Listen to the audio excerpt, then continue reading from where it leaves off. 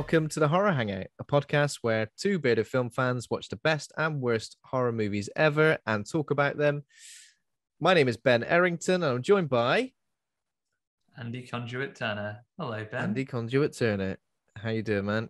I'm good, thank you. There's a little bit of a lie in the beginning there, then, because there are still. I know, I don't know. I said busy two. There are still three bearded I film know. fans. Having a beard, having a beard isn't necessarily something you need to have to be on this podcast, but it helps. A couple of Uh, people have not had them that have been on. Mostly our female guests. Um, Yeah, and I think my my beard's definitely in a state of disrepair at the moment. It's a bit short, bit bit patchy, but uh, luckily, our guest today is bringing the beard level right up, all the way to the top, probably the highest it's ever been. No disrespect to Gandalf the Great. No, it's Gandalf the Great. Oh, it's Gandalf the Gandalf the White is here. No, he's not. Um, so we're joined by a very special guest today. Uh, he's a horror fan from Lincoln in the UK. He's a YouTuber under the moniker Needle Rats, who reacts to horror movies and a long-time supporter of the podcast and monkey horror enthusiast, who even sent us Dunston checks in t-shirts after a particular episode. Which episode was it? Congo. I think it was Congo. I think, I but think it was the Congo one, yeah. Yeah, 'cause Yeah. I think He's Dunston even- came up on that episode, right? He's even wearing uh, a Congo t-shirt today. So welcome to the show, Ben Scaife. Hi, thanks for having me. Hello. welcome. Welcome. First, thank you so much for being such an avid uh, supporter of the show. Absolutely lovely. Really, really, Oh, no really It's- appreciate it. It's a good show. Like I said, I've been listening for a, a good couple of years, and it's just got better, I think. So Thank it's, you. it's Thank, thank you good. so much. How did you discover the show? That's that was my first question. oh, I, where I used to do a network sales job, which is a lot of driving, um, and it's, it's just boring listening to Radio One all the time, and then the older you get, Radio Two, and then that gets boring. So Yeah. so You completed Uh, your so- and thought, what else can I do? That's it. And I've always liked horror films. So I started listening to audiobooks and then I think I listened to it on audiobook and that took about nine months of my life away. but then I just I just started like Yeah. I just, just, like searched to see if there's any kind of like podcasts and you guys came up.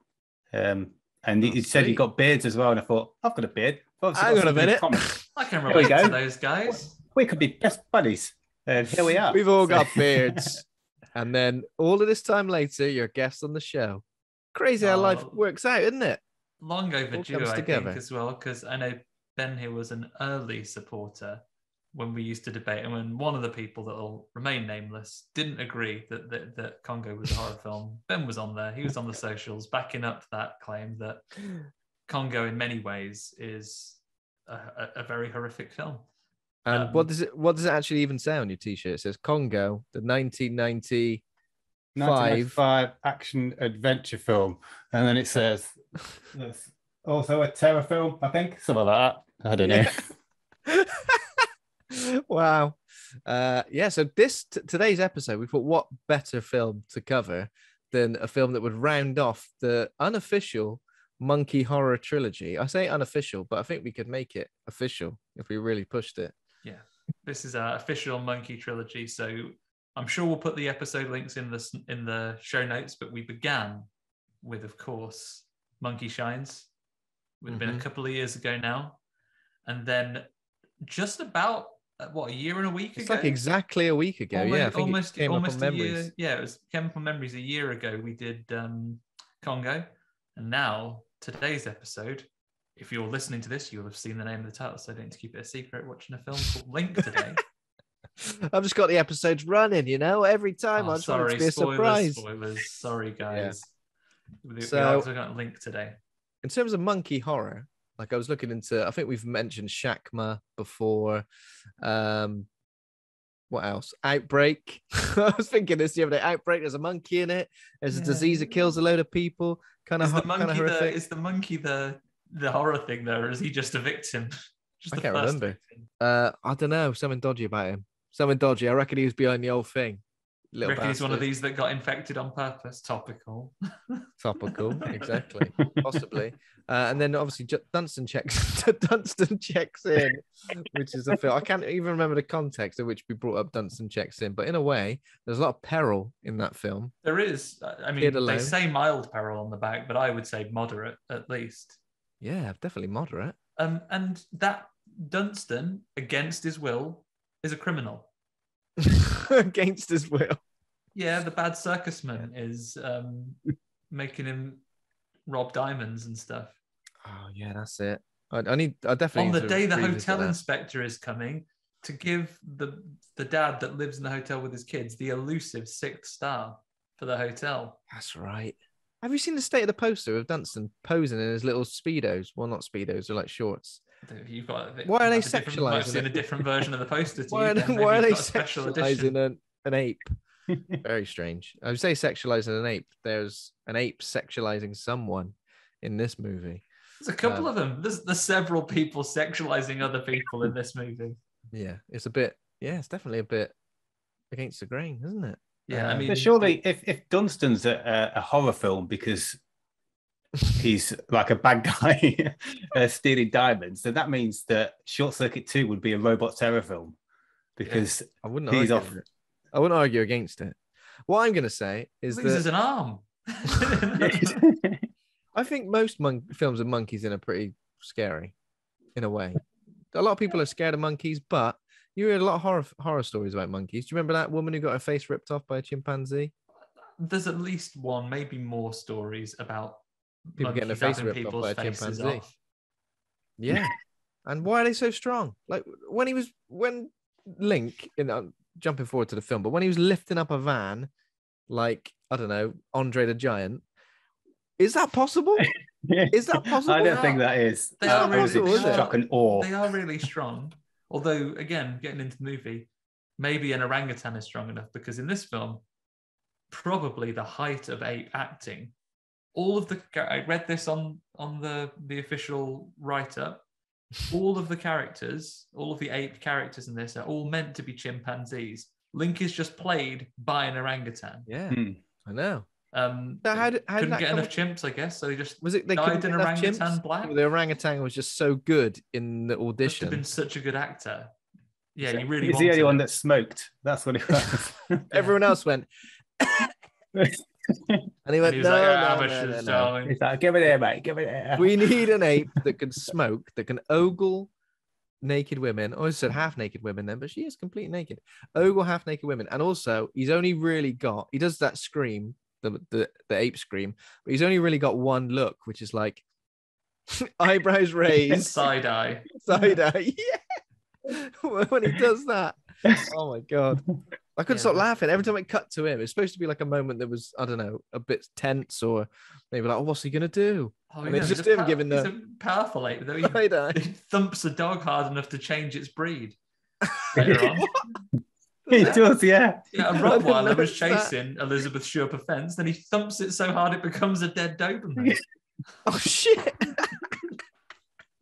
wow. Whoa! He, li- I just think literally, he thumped it so hard his genetics were shifted. I mean, Not any, no, no one has punched anything that hard since Superboy punched reality so hard it brought Jason Todd back to life. Those are the two most powerful Wow. punches. but I've his seen- his strength is a little bit inconsistent though, because sometimes he just gets pushed over onto yeah, his he gets ass. sucker punched later on as well. Oh, I guess he didn't see it coming. um, yeah, I suppose so. Yeah, are apes the scariest animal that you might encounter? It's quite, like you say, Ben. A lot of people are afraid of apes. I feel like in my day to day life, I can avoid apes. For the most part, I Wasps, think. though, I think they the can get thing, you anytime. wasps can get you anytime. Bees. Um, I think with apes is the fact that we've been so we don't you don't kind of think of them as much of a threat because we've grown up seeing, you know, other animals, other jungle-based animals, being much more of a threat. Lions, tigers, bears. Oh my. Uh, We've got a tiger next. Oh shit, we've got a tiger next week. We'll come to yeah, that. but apes are always apes are always like I don't know sidekicks or like the or cheeky chappies or you know we don't realize how strong and terrifying they actually are. There's a whole planet of them, isn't there? Yeah. And you think about the Planet of the Apes. There's a whole bloody planet of them. they, would- especially in that first one, you'd think that the astronaut would wonder, have they all got osses? It must be a planet of the horses before the apes came. exactly. Yeah. And, there's a, and the apes have a horror film where horses are in charge and they ride around on apes' backs. What happened before that? Whatever came before horses. Whatever who came before that, chicken and the egg scenario we've got. Um, but also, like, that not all apes are like that. Obviously, let's talk about Harambe. I mean, Yeah, he did he did nothing wrong. Justice for Harambe. He's dead. Can't have justice. assassinated. Um, assassinated, assassinated. Um, so you know, not all apes, but I think of all the horror horror stories about apes, it's always a bit more surprising because I guess you don't expect it as much. And it's because they're clever as well, I guess. Most things, like if a rhino or a shark was after you or a cobra, they can't open a door. A cobra might Only be- apes and velociraptors, basically. Mm. It's the get in there. similarity to humans, isn't it? That's that's what it is. It's the Yeah. uncanny, uncanny valley nature of it, I guess, is that there's something in those eyes that looks incredibly close to being human, and in that way, we're like, there's a little bit of a connection. You're like, have you got empathy? You're not going to hurt me, are you? You're a lovely ape, and then suddenly, face is ripped off. Yeah, got your nose, really. got your nose and everything else. got your nose, had your balls off, had your ears. Oh yeah, rips your off old- balls. They do rip off Eat- balls, don't they? Yeah, that's their favorite. That's like their first move. Their favorite thing. Johnny Cage is their main. That's what they do. They go straight Oh, for the ball. Can you smash. imagine? Can you imagine getting attacked by an ape and thinking, "Oh, I've got away," and then You've suddenly, got to apparently, if an ape tries to get you, a serious like safety warning here. You've got to try and like lie down in a way. Um, except in the art, like you've got to try and ball your fists up so they can't try and like you know get at your fingers and stuff. But you've got to try and like brace yourself and lie down so they can't flip you over and try and uh, get your balls. I mean, the best thing to do would to be not got by an ape, I guess. But where did you get this information? I don't know, just discovery or something like that. It's just happened. Yeah, They can't flip you over, so what have you got done? A, got a dossier tucked. on how to fight every single animal. well, like Batman's got a dossier on every member yeah, of have a dossier. I mean, just put it, just put it out there, Ben, Ben's.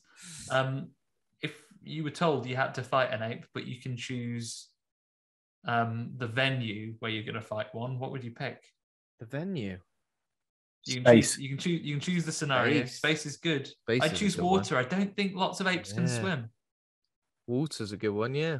I think they're That- weak that against local water. pool. You get to choose how much water you have though, because it could just be like a, a Not a puddle. glass. Yeah, you could choose So, like- a glass. You could, you could choose like yeah, in a pool of water, You get fucked up. I reckon just in a pub. in a pub, and you've got like a snooker cue. snooker cue, snooker balls in a sock, uh, smash a bloody stool over his head. Not a shit. Uh, yeah, space is a good one though, Ben, because yeah, it's a great one. I mean, I feel like I have a high percentage of dying in space as well. Space is dangerous, Mm. I but want to hear you scream. yeah, But you got more of a, more of an awareness of it, haven't you? So you could just give them a little push, and then you're like, Yeah, they wouldn't have a clue. Anyway. what- they'll be like, "Why am I floating?" They are. Fucking hell, they'll lose their minds. Yeah. he crash on a planet, build up his own civilization, and there we go. There we go. Okay. Well, we, we do have some horror horror Apart news. from apes, yeah. What's in That's, the news, Ben? that's a part of the show, which I was kind of forgetting about. Uh, but we'll do we'll do this quickly. There's only a few bits, a few bits and bobs. Uh, of course, first of all, we'll talk about Meatloaf, who passed away this uh this week, only like three or four days ago. So rest in peace, Meatloaf. We covered a movie he was in, Rocky Horror Picture Show, just before Christmas. Um, he passed away age 74, obviously famous for his music career, but he starred in loads of films as well, including Fight Club. Um, I think he was in like Wayne's World. He, he was in a Tales from the Crypt episode, uh, I believe. And obviously his albums Bat of Hell, Bat of Hell Part 2 and 3. I've got like horror themes in a way. These kind of like hell. Hell, hell. exact hell's bloody horrific. But There's a the bloke album, that's going around raising it all the time in horror films. album covers are absolutely stupendous. So I think we are going to cover a movie he's in next week.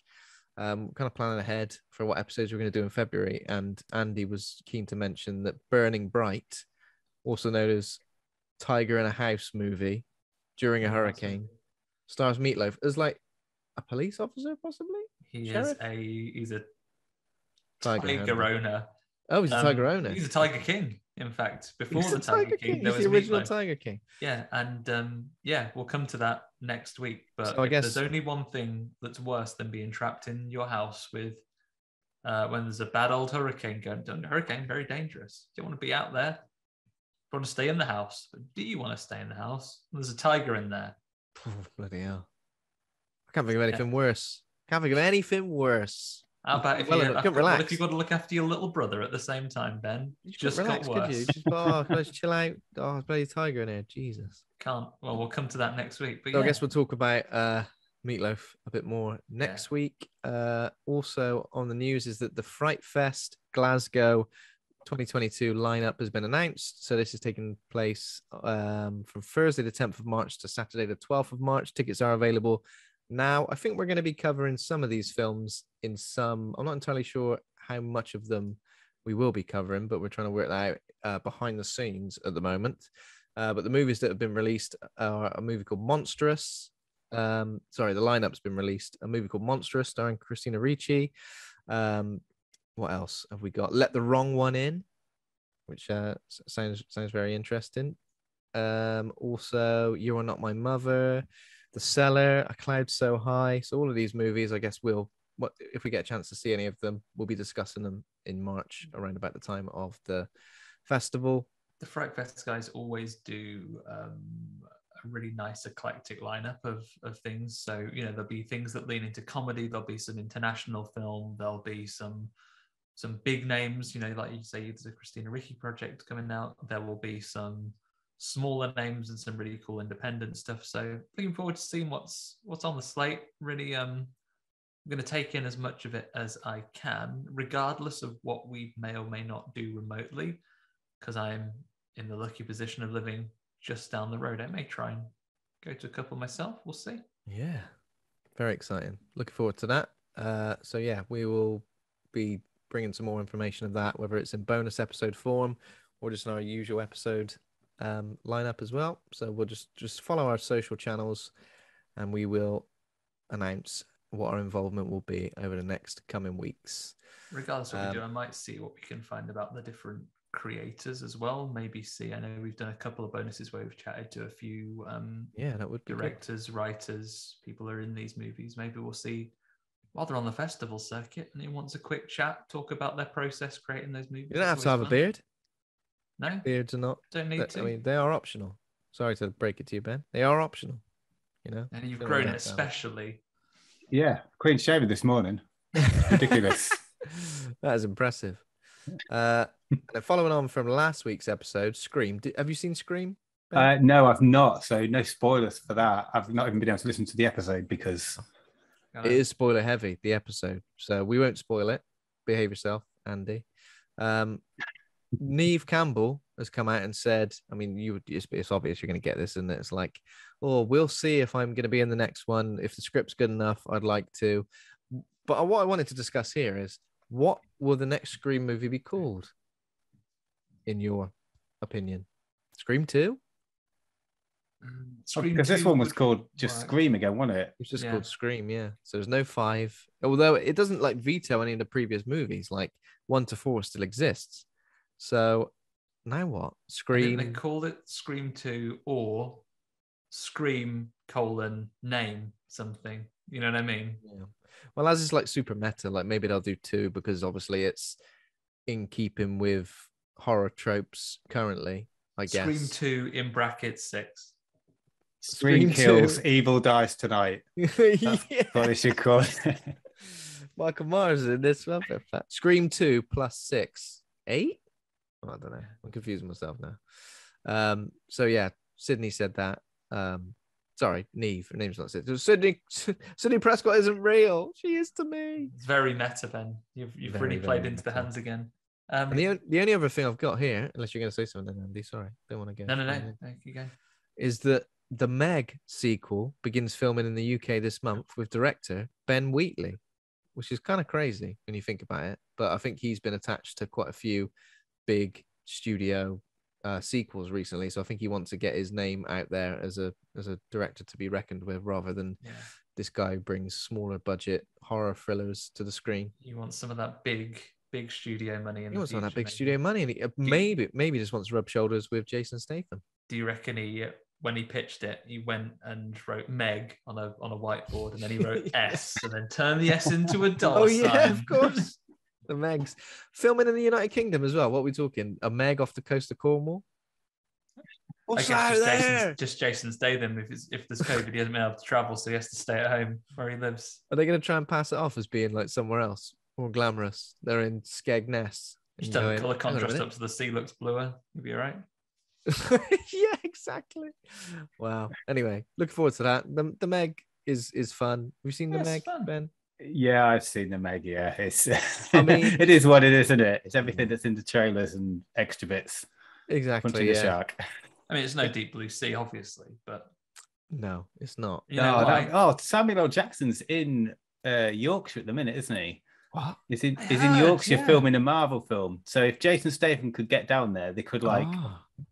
crossover. you know, just- exactly. do a big crossover. Do a big. We want a shocking moment where Samuel Jackson gets eaten out of nowhere in whatever film he's in. Please, Marvel film. What's that? Is that like Secret Invasion or something? Maybe. I, I don't know. I don't know what it is. I just heard it on the news uh, today because we're, we're off to York later on this week. So I'm gonna chase him down. see if you can see you know? him.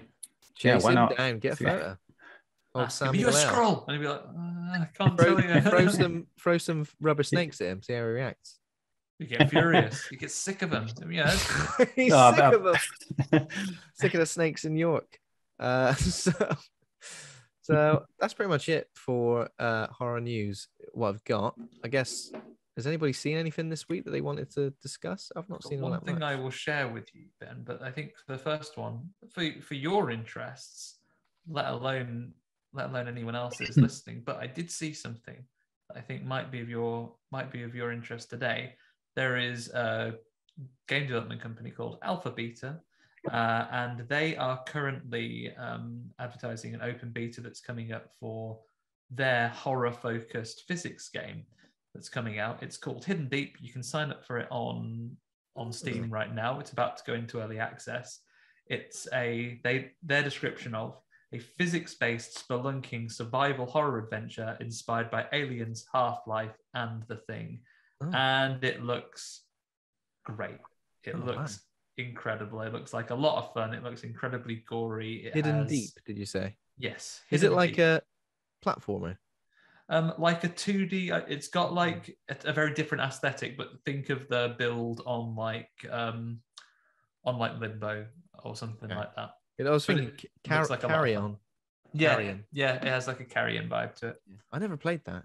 oh it's great I really should play that. Um, Uh, but that's- yeah you can sign up for beta testing of that now i'm not being sponsored by them but i am going to try and do it so uh, it looks great yeah. let's go a lot of I'll fun have a look at that. I There's that other. Um, I think it's Madison or something like that. A, a game that's coming out, which is a, a first-person horror like Fatal Frame. If you ever played Fatal Frame, it. Oh, that's yeah. supposed to be coming out on um, consoles and Oh, PC yeah, I see. like Okay. soon. It looks really good. That Yeah, there's like a camera involved. Is it so similar sort of? Um, yeah, So- similar sort of stuff looks to like, P- Fatal looks, Frame. like, P- so it looks like PT a bit in some of these.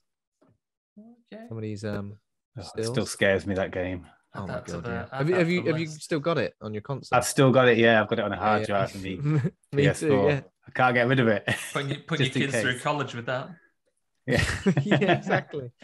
Uh, yeah, I know what you mean. I'm, I'm always keen to check out new survival horror games. I think there's a lot, a lot of them out there which are a bit sort of like cookie cutter, and it's, it Yeah. it can be a bit difficult trying to find one that really does stick. Um, but I'm always willing to to try new new ones out. Yeah, that sounds great. How about what have we what have we watched then? Um, ben, do you want to go first? Do you watched anything? That doesn't help. Um, guest Ben. Oh yeah, Um, guess Ben. Do you do you want to go first? What have you you watched anything exciting this week? I- not really, not this week. No, um, I watched this film again, which we're going to do today because you know I've not seen it enough, and uh, and I introduced my daughter to Die Hard. Oh, Oh, So so that's it. But she's she's at that age where I think because she's nine, so she she can watch it.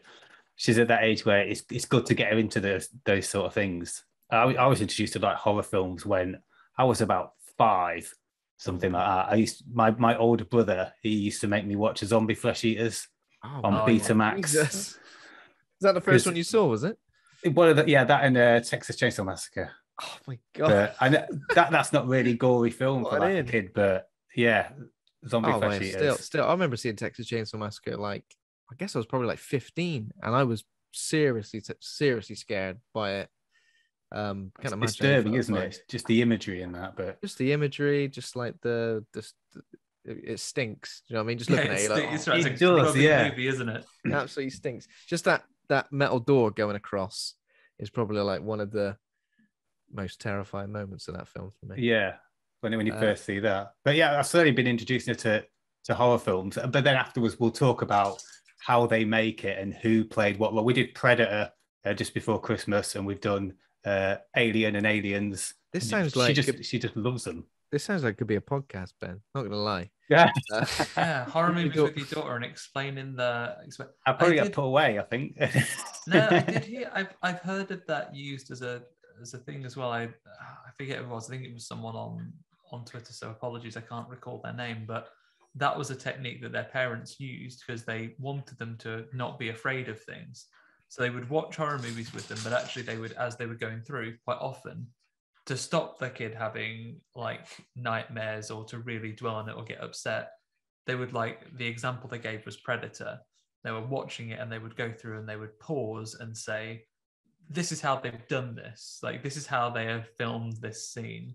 So you could do that. So it kept it in their the the kid's mind watching this movie that they'd been excited to watch with their fa- family that oh this is a you know it is a story and it's a piece of entertainment and this was made by people it isn't like Yeah. a I remember monster come seeing and get you I remember seeing like behind the scenes of the thing with all the practical effects. I think it made it worse for me. I was just like, oh Jesus Christ, it looks even worse now.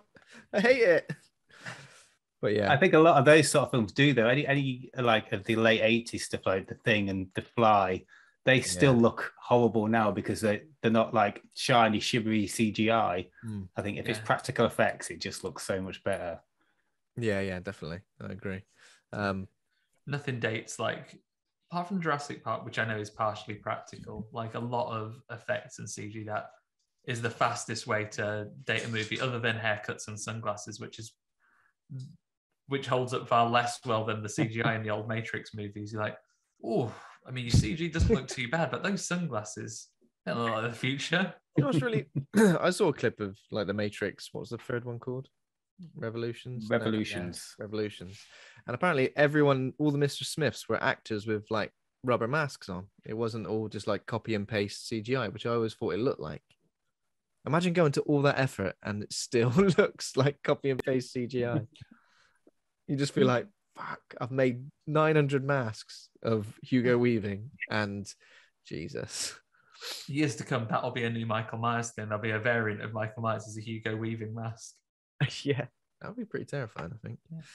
Uh, anything else at all, Ben? Have you seen anything else this week? Played anything worth mentioning this week? No, oh, I've been playing um Returnal. Have you guys heard of that or Oh, played I- that? Yeah, Yeah, yeah, I, I've like with many games, uh, got it, got a time to play it. It's I, I think it's the sort of game where you only need 10 minutes to give it a go. And then the next time you go through it, you need 20 minutes and then 30 minutes. It it took Okay. me uh like a day to get to the second boss. And I and that was like just at- Christmas. And then it was only yesterday when I got past the third boss. And Oh, it's wow. just it, it's a slug because as soon as you die, everything just gets reset straight straight back at the beginning again with nothing. But Oh, wow. your reflexes get better and you've got and it's like do i go through all of the first level to level up and then go through the le- second level to level up a bit and then go fight the boss or do i just go straight to the level three boss oh, Also, you can And- just go straight to the Oh, okay, furthest point. yeah once you do one level you've got access to the second one but and Ah, every time you die you- you're slowly figuring out the story of what's going on to this woman it's really good really Oh, good I've game heard it. I've heard it's really good. Is there anything that you get by when you died at Keeper? Is it a total reset? 'Cause I know with things like what, Dead Cells and Hades and stuff, you can you can kind of trickle some updates that you can get when you restart. Is everything gone when you come back? you, you do get some things like you you'll learn how to do a dash and then after the first you, you get like a grappling hook to get you to high ledges so and then i can't think of what else you get extra slots that you can open so you can Okay. carry more things and every time you get a weapon the more you use it you unlock a percentage of the secondary functions and everything else and you that always better. stays unlocked all the time yeah I will have to have a go because I do like it. that type of game. I say that having not successfully completed anything that follows that pattern, but I do like it. It's a good sense of achievement when you do it. But just just a 20 minute jaunt on it and you'll be like, I'll need to do that again. Oh, cool. I will give it a go. good. We'll give it a I've, go. I've wanted to check out. I, I finished the Guardians of the Galaxy game this week. Um, I was finding it. I think I mentioned last week. I was finding it a bit linear and a bit like handholdy, but I think maybe I was only about halfway through. I've pl- I mean, I've played it a lot this week. Uh, maybe about halfway through, and now I finished it. I feel a little bit like, a lot better than I really anticipated. It would appear that, it would appear that Karen's- Dogs are back. Oh, no, the dogs are back. I don't know that she's back yet. I haven't heard her come through the door. But they know. They They're know, good, they- aren't they? They could sense it. Yeah, they did it earlier on. Like, we had some deliveries come, and I hadn't heard. You know, bear in mind the guy was in a van or anything like that. I hadn't heard a van pull up. I hadn't heard anything, but they were kicking off good and proper. Or maybe she's not back and they're just being mental. Who knows? Ricky's Who tucking- even knows? Ricky's tucking himself back in. Karen's been smart and has gone up the back way. So they've not seen her come through the door, so they're just confused.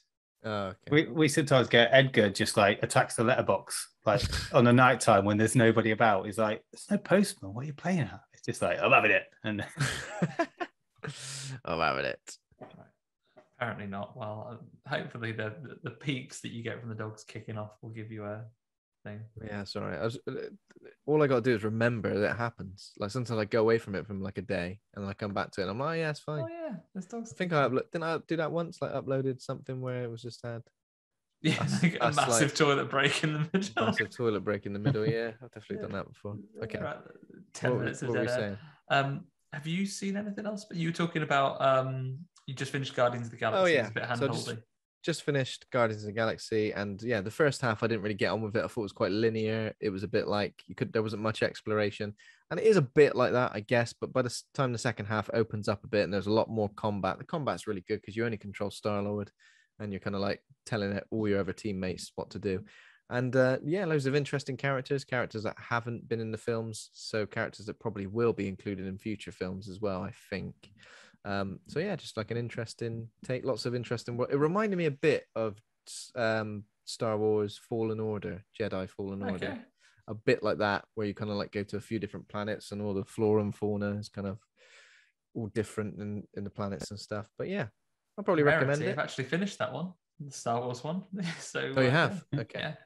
So I think in terms of Marvel games, obviously, I, I- did like the the Avengers game, and obviously the Spider Man games are So great. your play, so your PlayStation wrap up, Ben, you really liked Avengers a lot. No, I couldn't believe that. I played that the most last year, Avengers.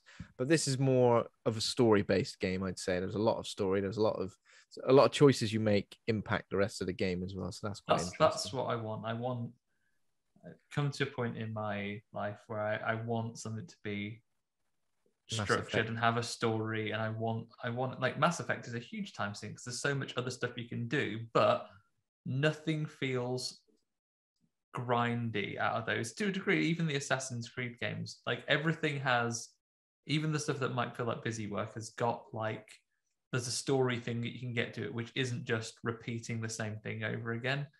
The bet the advice I've taken from someone about Avengers is hey especially if you're on a lower difficulty, you don't have to repeat everything or do anything that's optional. The training missions just knuckle down and do the story, which is quite Yeah. good.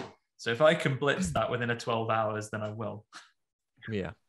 Um yeah, I'd say Guardians of the Galaxy is like Mass Effect Light, where you can't do any side quests or anything like that. That you're you're only on the on the sort of main story narrative for the whole for the duration of the film. So That's all right. But you're just game. doing it. game. Sorry. Uh yeah, and apart from that, I watched the first couple of episodes of the Book of Boba Fett. If you guys have seen any of that yet, Not yet. I'm still No, a not series yet. behind on Mandalorian. I'll get to it one day. I'll get to it. Uh I've done all the Mandalorian. I just haven't had a chance to start that. I've only just watched Hawkeye, so I'm slowly catching up with everything. Yeah, I've not I've not finished Yes. Hawkeye. I need to go. and- I need to go and finish that. Boba Fett seems good. Um, interesting. It seems to include some characters that I'm pretty sure like are part of Star Wars lore, but maybe like books or some some other things like There's characters I've heard of, but not from the movies. Um, but it's good. It sits in this nice little pocket like after Return of the Jedi. So it's interesting to see sort of the things they include from that. Um, not as like I don't know. It's, it's a weird one. I think if you enjoyed The Mandalorian, because it's, it's kind of like family friendly, episodic, obviously with like different planets and creatures and stuff. This one feels a bit more like it's got more of a story um, based on him. They keep saying crime boss, but I'm a bit like, I don't know. Don't know if I buy it. It's just weird seeing a character like Boba Fett suddenly becoming like a main character and also a good guy, essentially, because in the films he's just. Yeah. Is it? I'm not sure if you make it because it's hard to articulate this. Bear with me. He's not done anything it- majorly heroic it- so far. Is it a No. Disney thing that you can't have a centralized character that is entirely a bad guy? You know, Bo- Boba Fett has become popular, so he uh, is kind of recast in a heroic light. In much the same way, uh, and I'll lay off Disney on this one, DC does it, I would say, egregiously with their with their comic villains.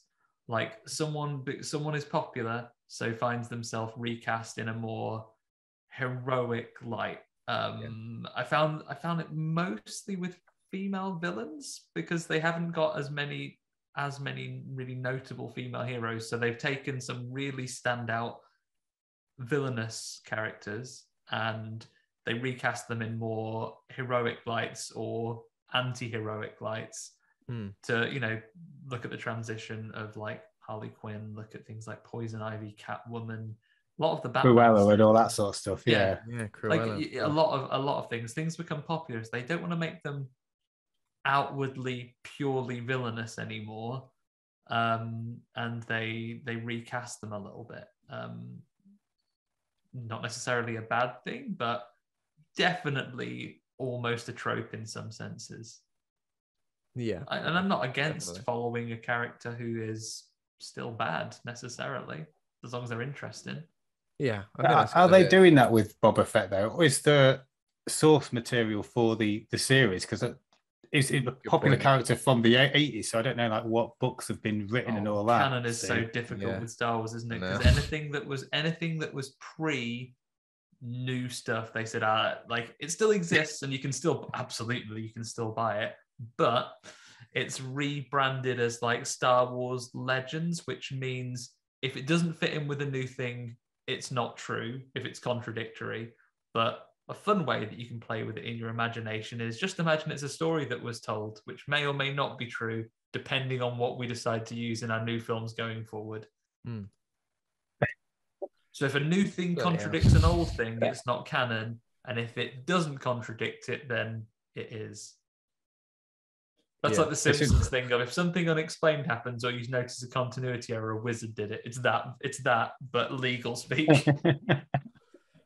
Yeah. What about what about you, Andy? Have you seen anything? Um, just the one, just the one watch of note that I wanted to bring up. I watched something I've been waiting to watch for a little while now. It has a sequel while I've been trying to get around to watching it.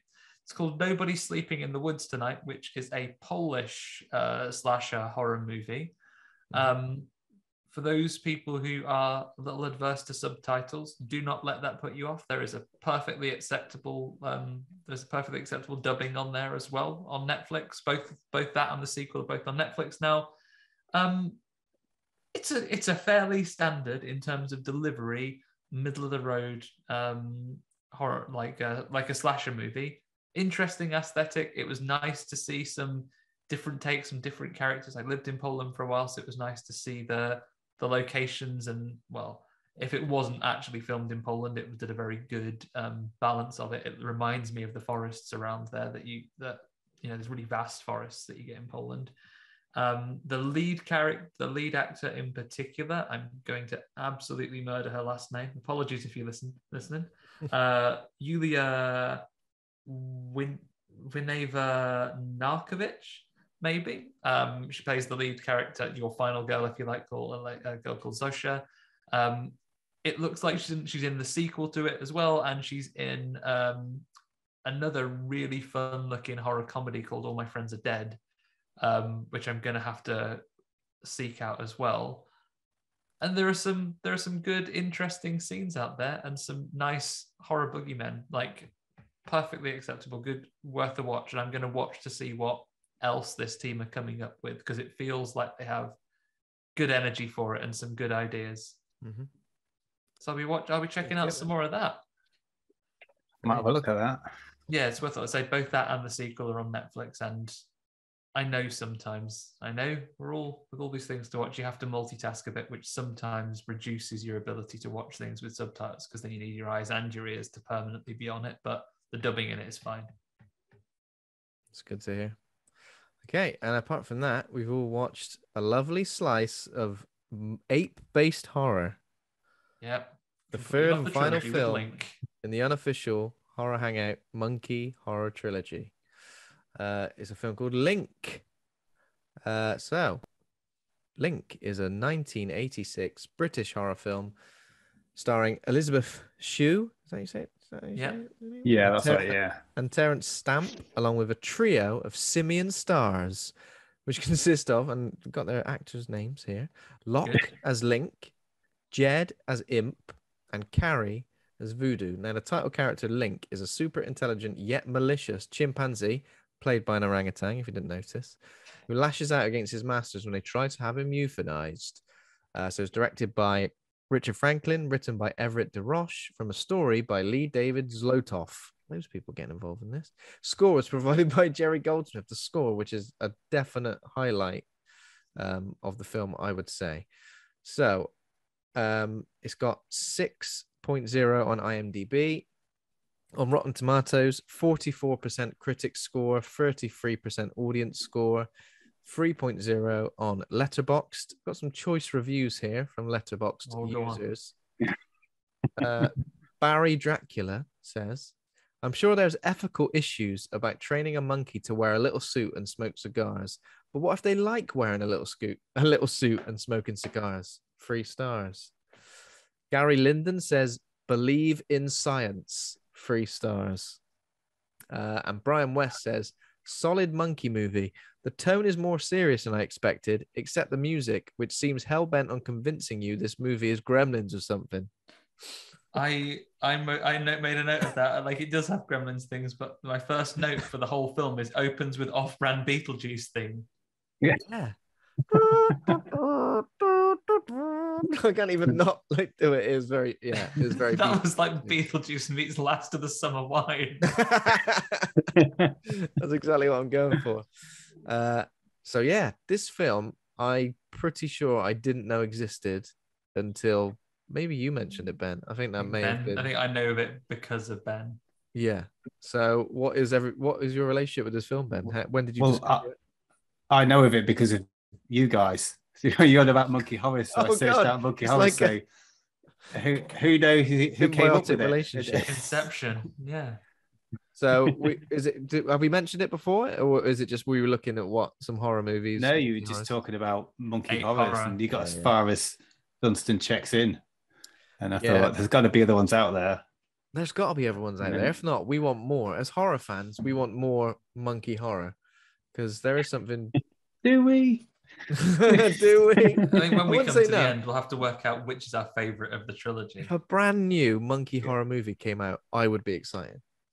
I know. I, I think would. if these if these films were redone, I think on on a Yeah. better budget, better script, With Andy Serkis playing the with, apes. with The role he maybe he's in this. I don't know. He could be like the role credited, run, running upstairs or something like that.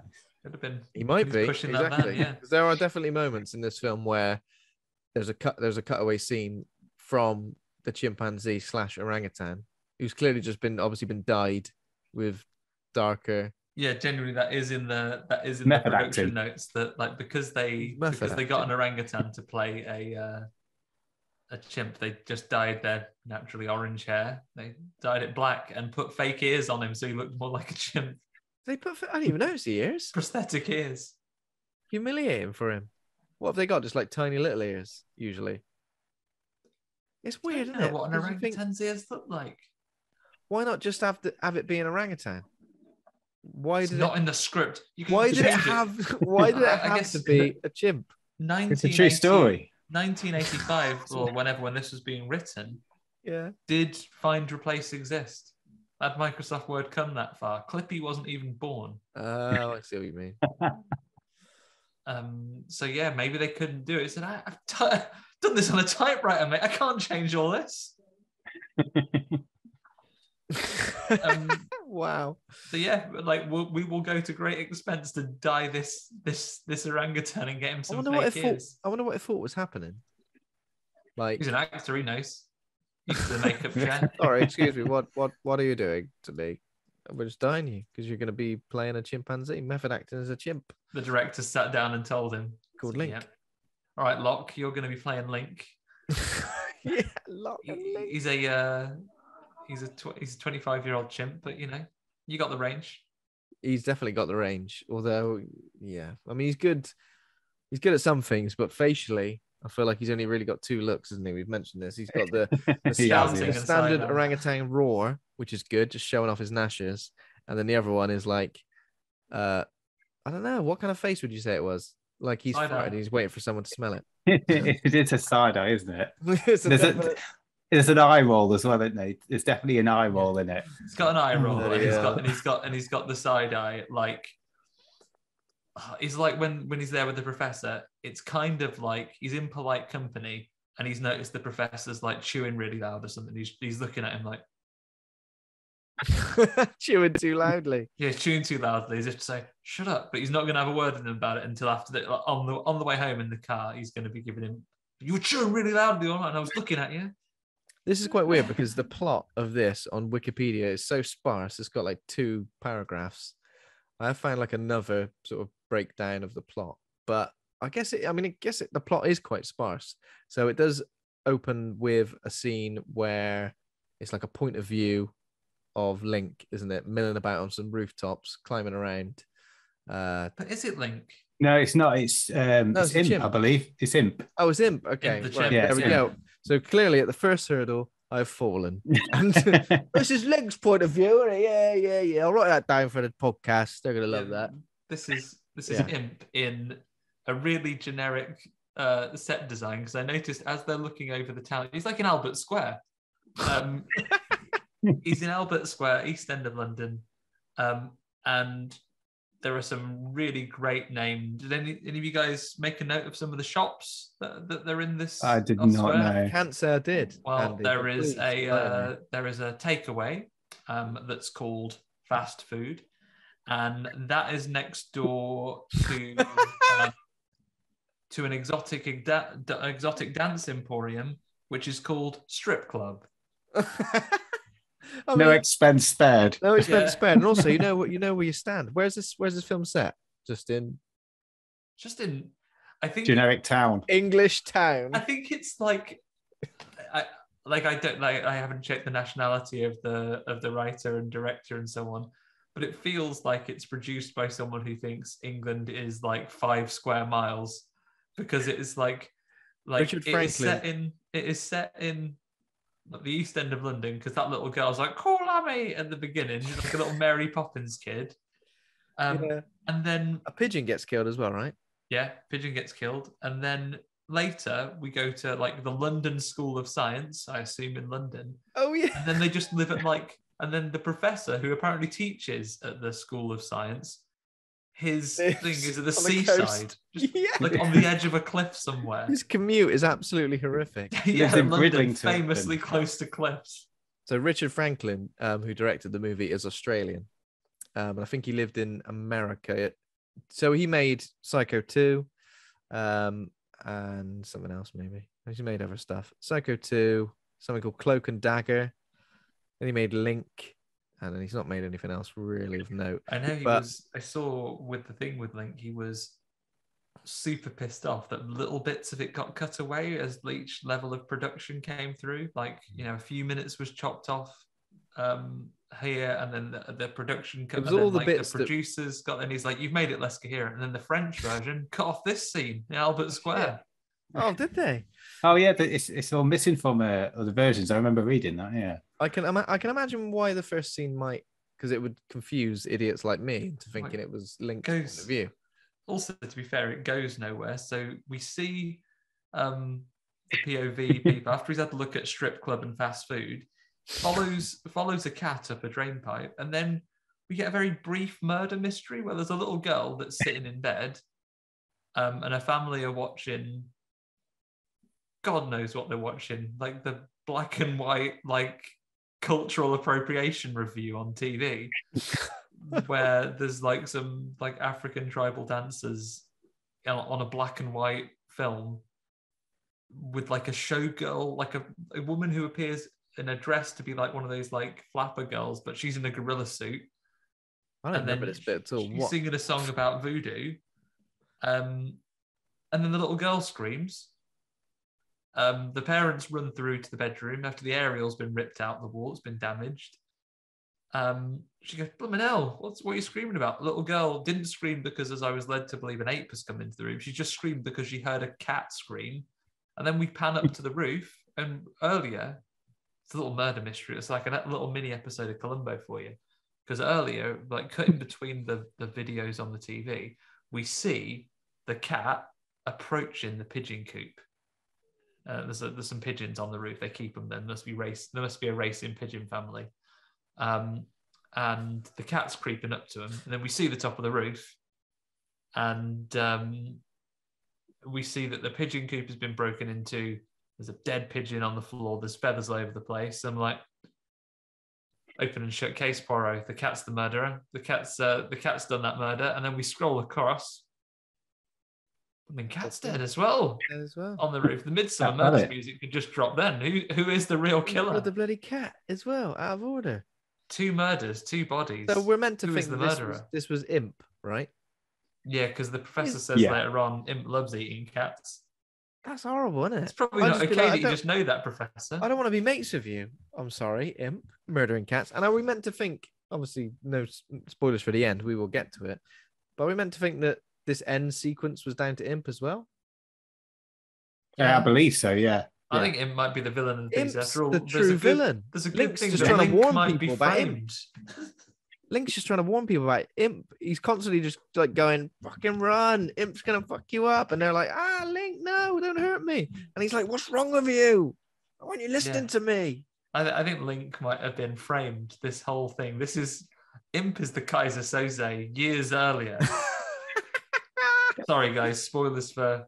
Oh, if I don't say what Keyser Söze is from, I haven't spoiled Yeah, yeah, anything. yeah. Spoilers for nothing. so smooth. so smooth. Well, like you think like Imp's are sort of like hopping away at the end and then suddenly just stands up and puts the suit on Yeah. and lights yeah. a He, cigar. get- he gets in the car. Goes, oh, I'm just a baby, just a baby. I haven't- don't look in there. I haven't been choking sheep out all night. Fuck me. Um, um, Evil yeah. bastard. Yeah, yeah, he, he could be behind it all. This could be the mis- the biggest mystery of all. But yeah, that hmm. that scene we don't don't- don't worry about that that London-based family and that little girl because we will never see them again. Never, never seen again, are they? And it's That's not it, and gone. when it's confirmed, it's just a throwaway scene where the doctor just says, Oh, bloody feathers are all around. Imp's been mucking about eating birds and killing cats and shit. Oh, great. There we go. That's it. Yeah, Yeah, you could just have that bit, but I don't know why any of the start of it is in there, apart from Yeah. the music The and the a, start a is a human very- doing a human doing impressions of a of a chimpanzee. It was like that, wasn't it? I was Re- really bad.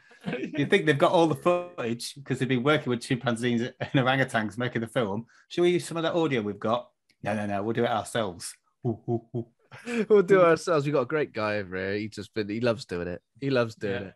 Get his eight It could have been the on. first gigging job for who's his face who does all the Frank Welker, yeah Frank Welker. Frank- could have been his Frank first Welker. gig. Mr. Additional Where was Voices he, eh? himself. Yeah. Bloody hell. Uh, so Um, then we're introduced to our main character, Elisabeth Shue, um, who plays American college student. What's her name? You know, you know what, Ben? I I've just been calling her Elisabeth But- Shue the whole time. I her called her name is- Elisabeth Shue all the her way name through my video. Is Jane Chase. oh, so Jane, she- like Jane Goodall from the Apes. Exactly, yeah. She's that's what I was thinking. A young American zoology student studying in England who takes the opportunity to assist Dr. Philip with his studies, which is kind of weird because it's almost like she's like, I will take anything you're willing to offer me. And he's like, 40 quid a year. I mean, month. I mean, I mean, week. Fourteen pound a week he offers her. How much did he offer? 14. Fourteen pound a week. I mean, nineteen eighties. That'd have bought you a, I'd have bought you a mansion like that, I guess. But Yeah. So he I, says, thought, I thought it was 40. that's what I read- thought. I read, I thought it was 40. Well fourteen pounds a week. 40 quid yeah. a week with as board and as much Yeah, food yeah, as you it. want. Board, food, and Apes. and being in constant state of peril that an ape was going to rip your face with off in your sleep on you the whole time. or perv on you. Exactly. Um, but yeah, also, obviously, Professor already that um, Dr. Stephen Philip never trust a man with two first names, Stephen Philip. Um, Professor Philip or Professor Negging, because that's what he's always on about. He's he's he's negging everyone. He's saying, to, "Oh, let's get these three fine young men out." Though you get like he's doing a he's doing a lecture on apes. He's one of these guys. He's a he's a bit of a wrong one. So like you know, he says, "Oh, go on then, tell us uh, tell us the difference between." Apes. I would have gone for a simpler answer, but we wear clothes, Professor. What's the Very difference between apes and humans? I wear Apes are hats. fucking idiots. I brush my teeth. Like like some like something along those lines. But like one I've got a bank one of account. them- The yeah, some Spelling. real some real square pin in the class puts his hand up and like goes, "Is it that uh, only man makes war war in his own country?" Goes, no, actually, Yeah. that's not what happens. Apes do it all the time. Apes Don't are come to my lesson on Ape 101 and not know that. Idiots. In now, fact, come and try and yank this monkey out of this cage. They can't fucking do it. Oh yeah, they're trying to yank it. I go, actually, don't, you don't have to yank a monkey out of a cage. You have to befriend it over years and now tell it to come out of the cage. That's much easier. Yeah. Cheers, Stephen Phillip. Yeah, Stephen Phillips said, Yeah, you should want to train him for years, then he'll come and stand next to you and then imitate you walking. I got to tell you, as much as I know in, in the modern era, we all know now, probably not so cool to make actual apes act in your films. But this little monkey, this this uh, imp here, he does some good faces, doesn't he, when he's walking up and down on the desk? He's He's got, he has got far more range. Sorry, Link, but he's got far more range than Link. Unfortunately, Yeah. he's got all he's got all the emotions. Imp the Chimp plays an absolute blinder when he's standing on the desk pretending to be the professor, walking up and down his little faces. Yeah, I think that's another thing why we don't find apes as scary is because th- there's something very human about them, and when they, especially when they mimic humans, you're like, oh, he's he's an absolute legend. Look at him, he loves it. They've got character, haven't they? That's that's the thing. Yeah, Or do we know They've that got- he's thinking about strangling sheep at the time, eating cats? Um, so yeah, That's why he was out all night because he strangled a few and then he then he fell asleep after about ten, counting them. He, he don't want to eat them. He just wants to massacre them as well. He's not bothered. I'm just, just gonna go massacring. Yeah, I Yeah. just like, I I just like for to waste these cats that I'm just yeah, literally just killing them. Um, So Elisabeth, sorry, Jane, after the class goes up to Dr. Philip and she's like, I would do anything to be your assistant. I heard you were looking for an assistant. And that you make some joke saying, Oh yeah, this is when he's like, yeah, um, not a bloke, though, are you? And he's like, well, what, what's that got to do with it? What about um sexual discrimination? And he goes, no, I'm collecting jizz. You need to it's a man. literally what he says, as if it's like the normal thing. Basically, all of my assistants have to jizz in this cup, which I then keep in my per- personal collection. And again, nothing comes of that. There is none of his experiments that involve cum. He must have just been gathering it up. Gathering it up in that well. It wasn't water at the bottom of it. yeah. It was a I'm gonna see. well. I'm gonna see if I can fill this entire well. I didn't even think of that. Like nothing happens at all, does it? It- He must just be storing it up here. He's not. Yeah, spot he's not. He's not I a know. mad scientist. He's not trying to breed apes with the jizz. He's not trying to do anything along those lines. There's loads of, just like- collecting it. I don't know why. There's loads of weird things about his character where he seems like this sort of like dinosaur, this like sexist dinosaur, but they never like follow through with it. Like you kind of think he's going to be a certain way. I think this film really does suffer when he's out of the picture. It feels like it really does feel like something's missing. Like It feels like that's missing in some ways, but in other ways, it's a lot better because that's the thing when he offers the job for fourteen pounds a week when he's probo and he says, "Well, my cleaner's away and I could use some housekeeping." And Oh yeah. And Jane goes, Well, being a woman, I am more predisposed to it. And I'm like, Oh no. I am good at cooking and cleaning, being a woman. And he goes, Yes, of course. And you and you don't jizz. And that's one thing I know as well. You and also you don't jizz. Writes it down. So you can't help me with that, but you can help me with um looking after looking after these looking after these apes in my mansion over the summer holidays. Is it over the summer holidays? Yeah, I guess it is, isn't it? I guess It that's mu- why, yeah, it 'cause must like you said, yeah. that'd be a bitch of a commute if he was going there every day. For 40 quid a week, that's the th- I mean, bored and everything's fine, but like as soon as you finish working for the you're you're constantly on the go. You can't relax. I relax. still, I still reckon it's fourteen quid a week. I reckon you guys think he's being more generous than he is. Fourteen pounds a week. I definitely heard 40, but maybe I was just adding for inflation. I was like, Yeah. sounds about right. 40 quid. Yeah, can't be, can't be 14. It still must. It'd have been a lot back then, wasn't it? Like even fourteen quid a week. suppose He must- he must have been a once lazy, you- I don't Once you've got once Honestly, you've got your bed and board taken out of it, maybe maybe he's like maybe he's factored those in as deductions. Yeah, Possibly, yeah.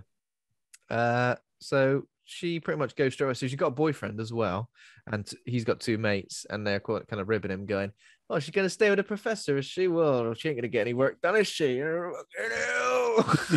Yeah. What's gonna be going on? Professor, Professor Unprofessional, Professor Pork. Yeah, he's like, yeah, they're all they're all ribbing him straight away.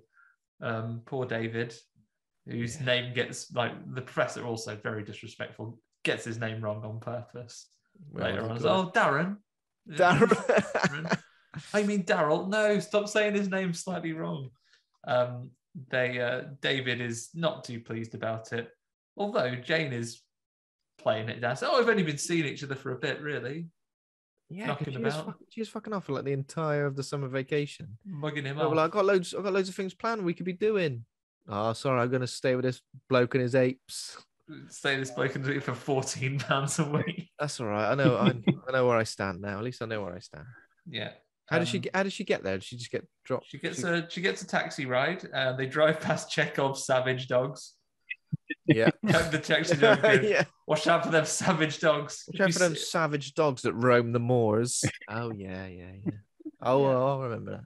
I, do you know what I wanted to see though? Like, I know we still. I was just about to say I wanted to see a bit of monkey on dog action, but we do get a bit. Yeah, I, I will put it out there and say that I thought, in many ways, that that I predicted the ending badly. Um, I thought it was going to be a case of the dogs save the day, proving that they are in fact man's best friend.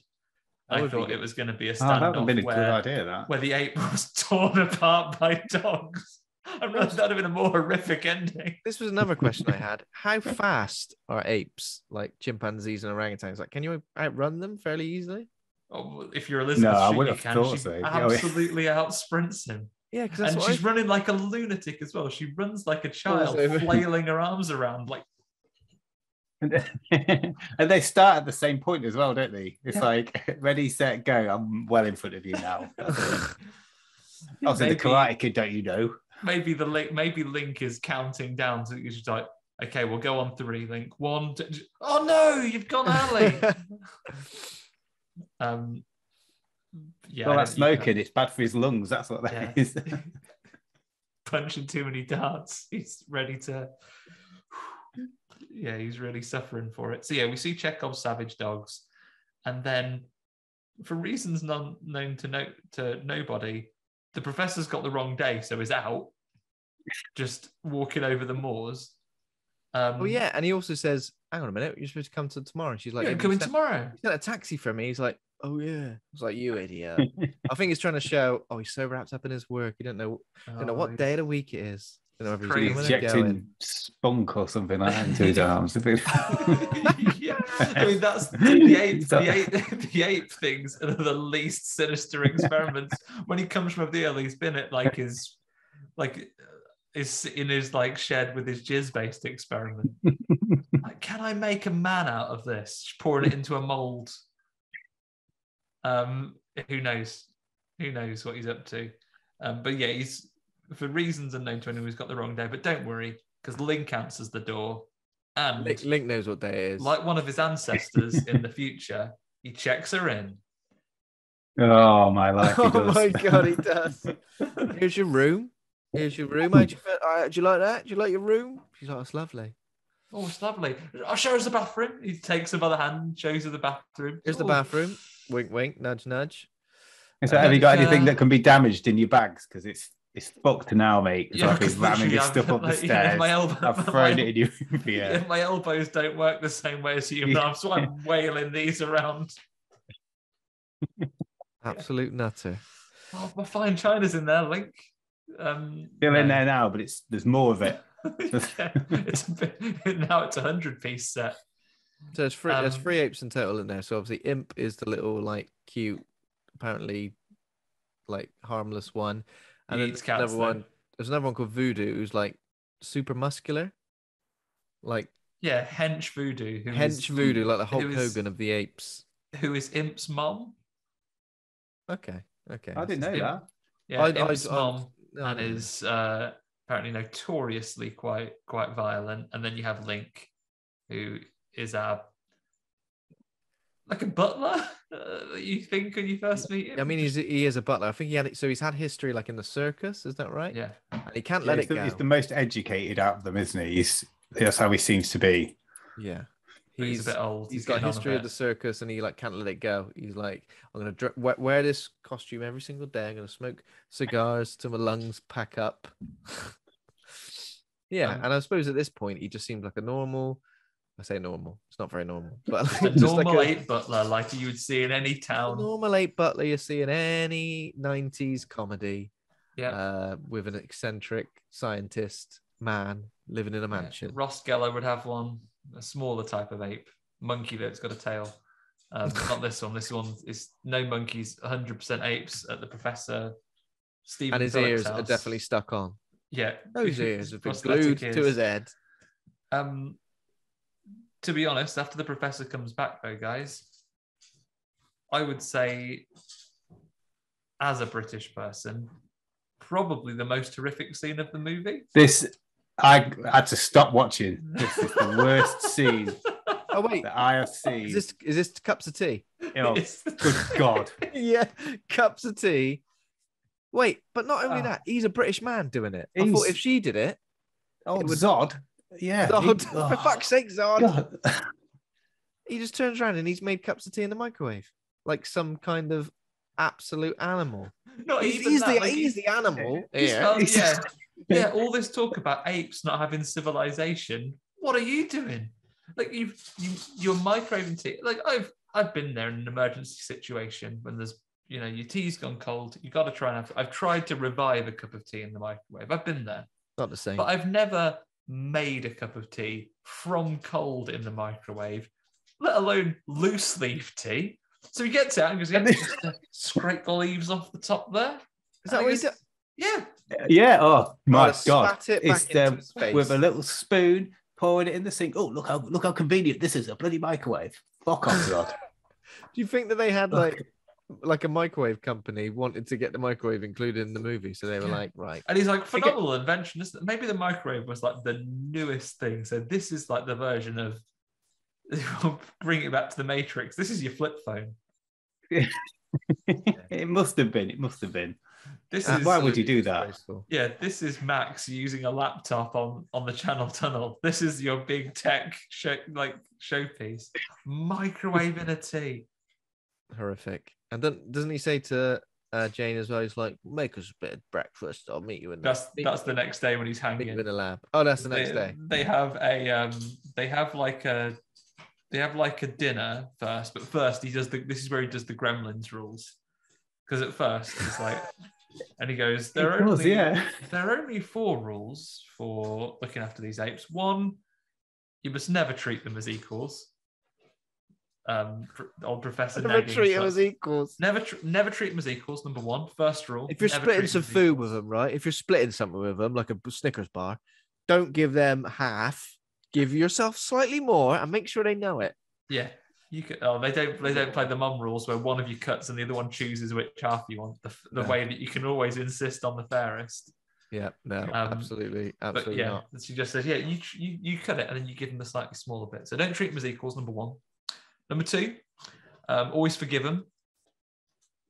So like if they've been if- if they've been two, dicks, always if- forgive them. if you've been dicks, because he points out because there's one bit Imp has been a shithead or something, and he goes, "All right, I forgive you." You've always got to forgive them. I don't know what happens. They they start to resent it if you don't forgive them. Yeah, what happens um, if you don't forgive them? They just get crushed by guilt. Yeah. Oh, Testicles off. That's what that is. Yeah. Testicles off straight away.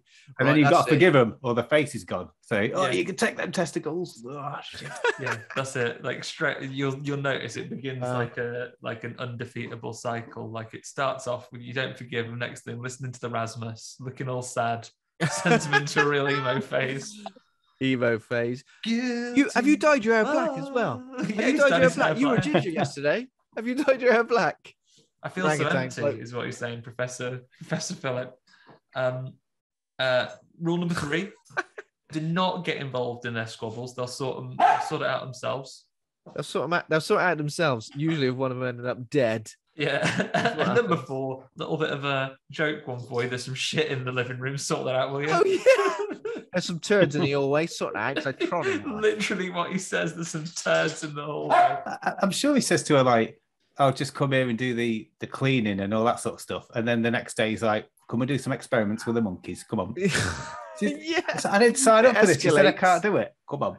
It Still escalates paying so fourteen quickly. pounds a week for me to go and do this. Uh, Elisabeth Shue gives Professor Phillip a taste of his own negging when he talks about how old Link is. You know, he's 25. And he goes, Oh, he's almost old enough to be my dad.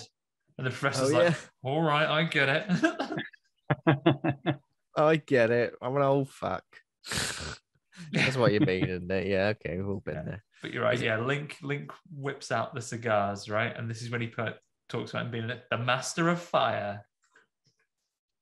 The master of fire, yeah. But uh, in terms of a master at fire, he's pretty shit. Let's be honest. let's just give him credit's where it's due.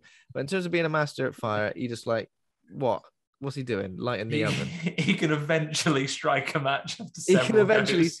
If you give him hundred matches, right, he will eventually manage to strike at least nine of those. If you give it to him, he's the master of fire. He's like lighting the pilot light. he's like, whoa. And he seems a bit afraid of fire. Like there's a few times where when it like sort of goes off really quick, he's like, "Fuck!" Yeah, I imagine that might be because Lost maybe touch. that's a, maybe that's a slip in the acting. Maybe because apes are naturally actually afraid of fire. Shit! Got bloody I think it was, he fucks about with fire that much. I've had to get a bloody microwave. That's what I had to do. yeah. Yeah, because he's always he's always dicking about with the oven, putting the putting Dick- grill on. do you think as well? This came out like just after Gremlins, didn't it? Yeah, And it's Jerry Goldsmith doing the music. Do you reckon he said to that director, Well, I've just done this film, and what we did in it is we've got some rules that we have to have.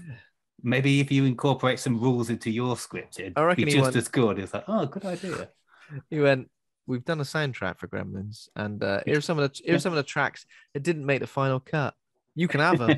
these are my Oh, these yeah. are my these are my drafts for, for These are this my one. drafts, yeah. Because it is like weird and jaunty, and like it kind of feels, it feels like it's from a different film. I mean, I don't know what kind of film you would It's got sort some of Danny Elfman qualities to it. definitely. And, Yeah, there's, a, very mi- much and, so, there's a yeah. mi- and there's a microwave in it. Maybe that microwave is the one from Gremlins. I think it makes it feel less like a horror, m- again, more like that sort of. That's why the threat from Link isn't that he's just a bit of a bumbling idiot, isn't he? Well, he's nice at the minute. He has a he has a cigar. Um, Lovely, yeah, yeah, healthy he cigar. has, he has a cigar, and then the next day he's they're all together doing some experiments. oh, God, yeah. Oh yeah, so they go into his. What kind of experiments are they initially? Well, it's like a it's an IQ experiment. Oh for- god, for him. yeah! Oh my Like, god! Like first Elisabeth Shue and then Imp get completely mugged off because the professor goes, "All right, everyone, get get together. All right, right, so you sit there." Imp, you sit there. He's going to do some pattern recognition now. Well, he- he doesn't explain that. That like the explanation I gave is more than the professor gives Elisabeth Shue. He Yeah. hands her a book and goes, "Right, go. You got ten seconds." yeah, yeah, right. Here's an IQ test. You're Let, let me ready, just get the world's biggest clock and put Yeah. this right next Oh, to me. yeah. Yeah, he's, he's literally got the countdown clock. On there. And it's like counting Are going to lose to an ape? Are you going to lose to a chimpanzee? You idiot! You moron! a chimpanzee who's done this test hundreds of times, and I've literally not explained it to you properly. No. I've just sat you down in front of a bank of buttons and said, "You're wasting time. Go." Well, luckily, imp. Just he's got the attention, the attention, shitty attention span.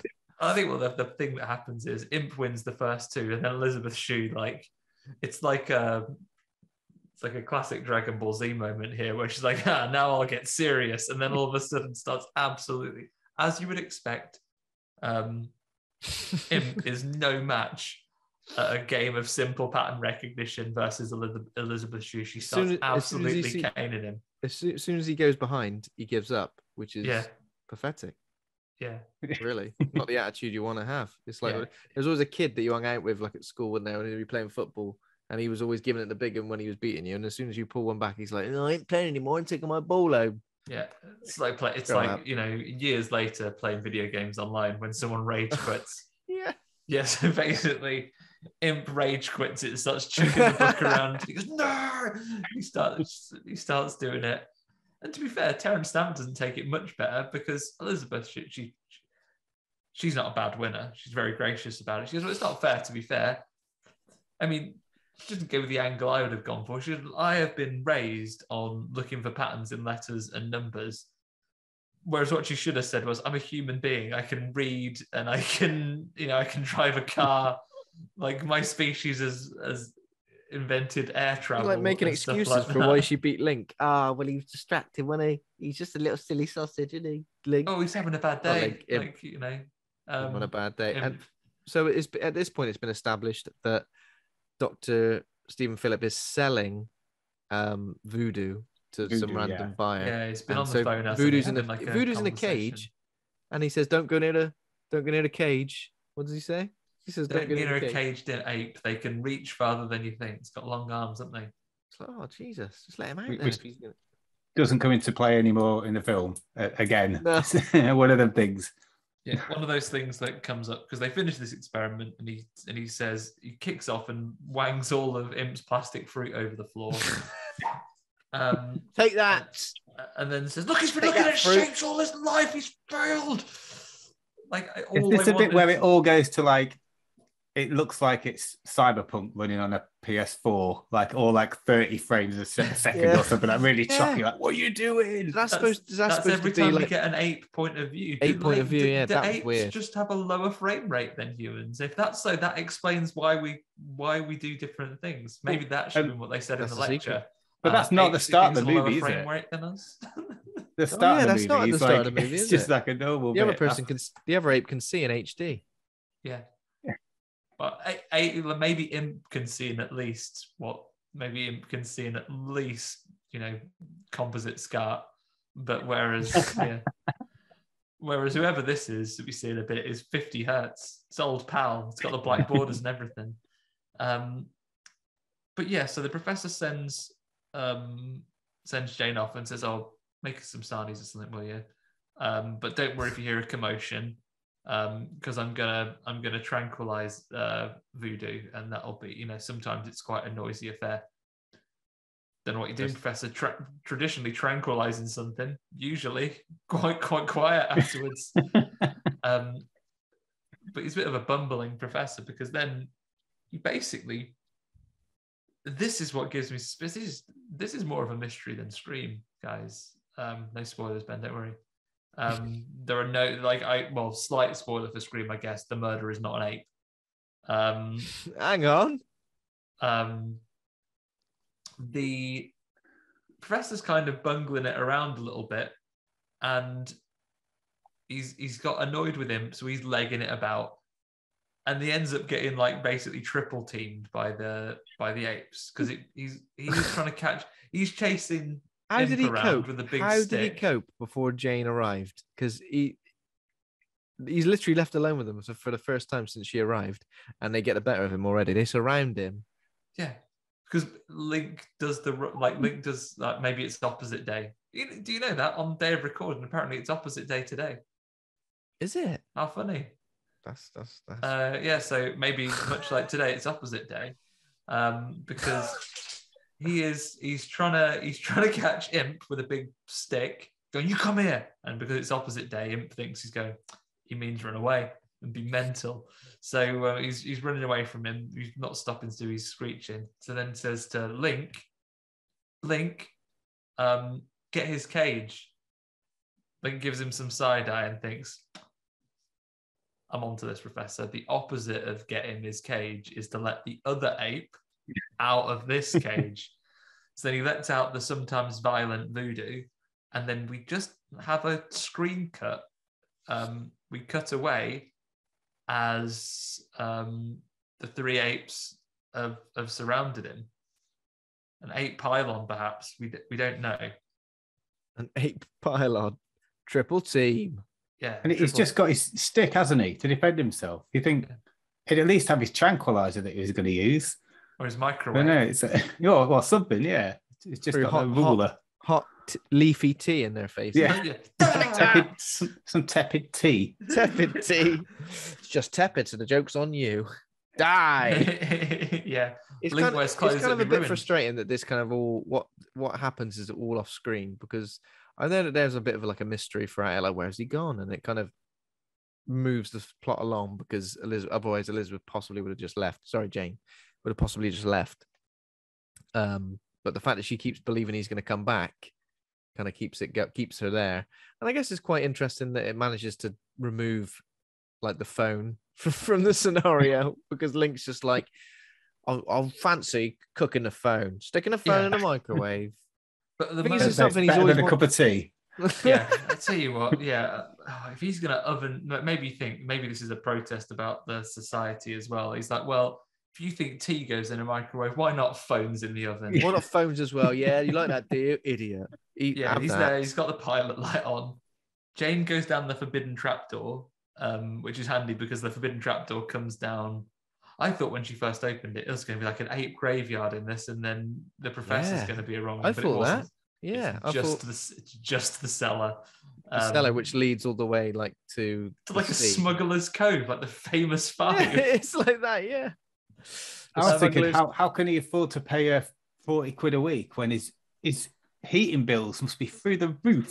Yeah. 'Cause the, the draft from The the, draft. coast coming straight up. into- Straight up into- into- straight- straight up into that's No why he's wonder only he's paying got a- a- there. Yeah, why it he's He's is, only only paying yeah. got to microwave his tea. It's an enclosed unit, isn't it? It won't get Yeah. hot otherwise. yeah. Um, the only way you can do it. So she goes in there, but basically it just means that she can go down there. And when Link is refusing not to try and blow the house up, she can go and turn the gas off. Yeah. I'm trying. Oh, trying to blow up the house, are you? Well, instead of telling you no, I mean, she might tell him no. I'm just going to turn the gas off. Jokes on you. And he's like, I'm gutted. And then he gets a bit spooked when the fire go when it when he goes, oh, you know, you get a bit of a it's not quite backdraft, but you get a little bit of a flare of gas in the oven.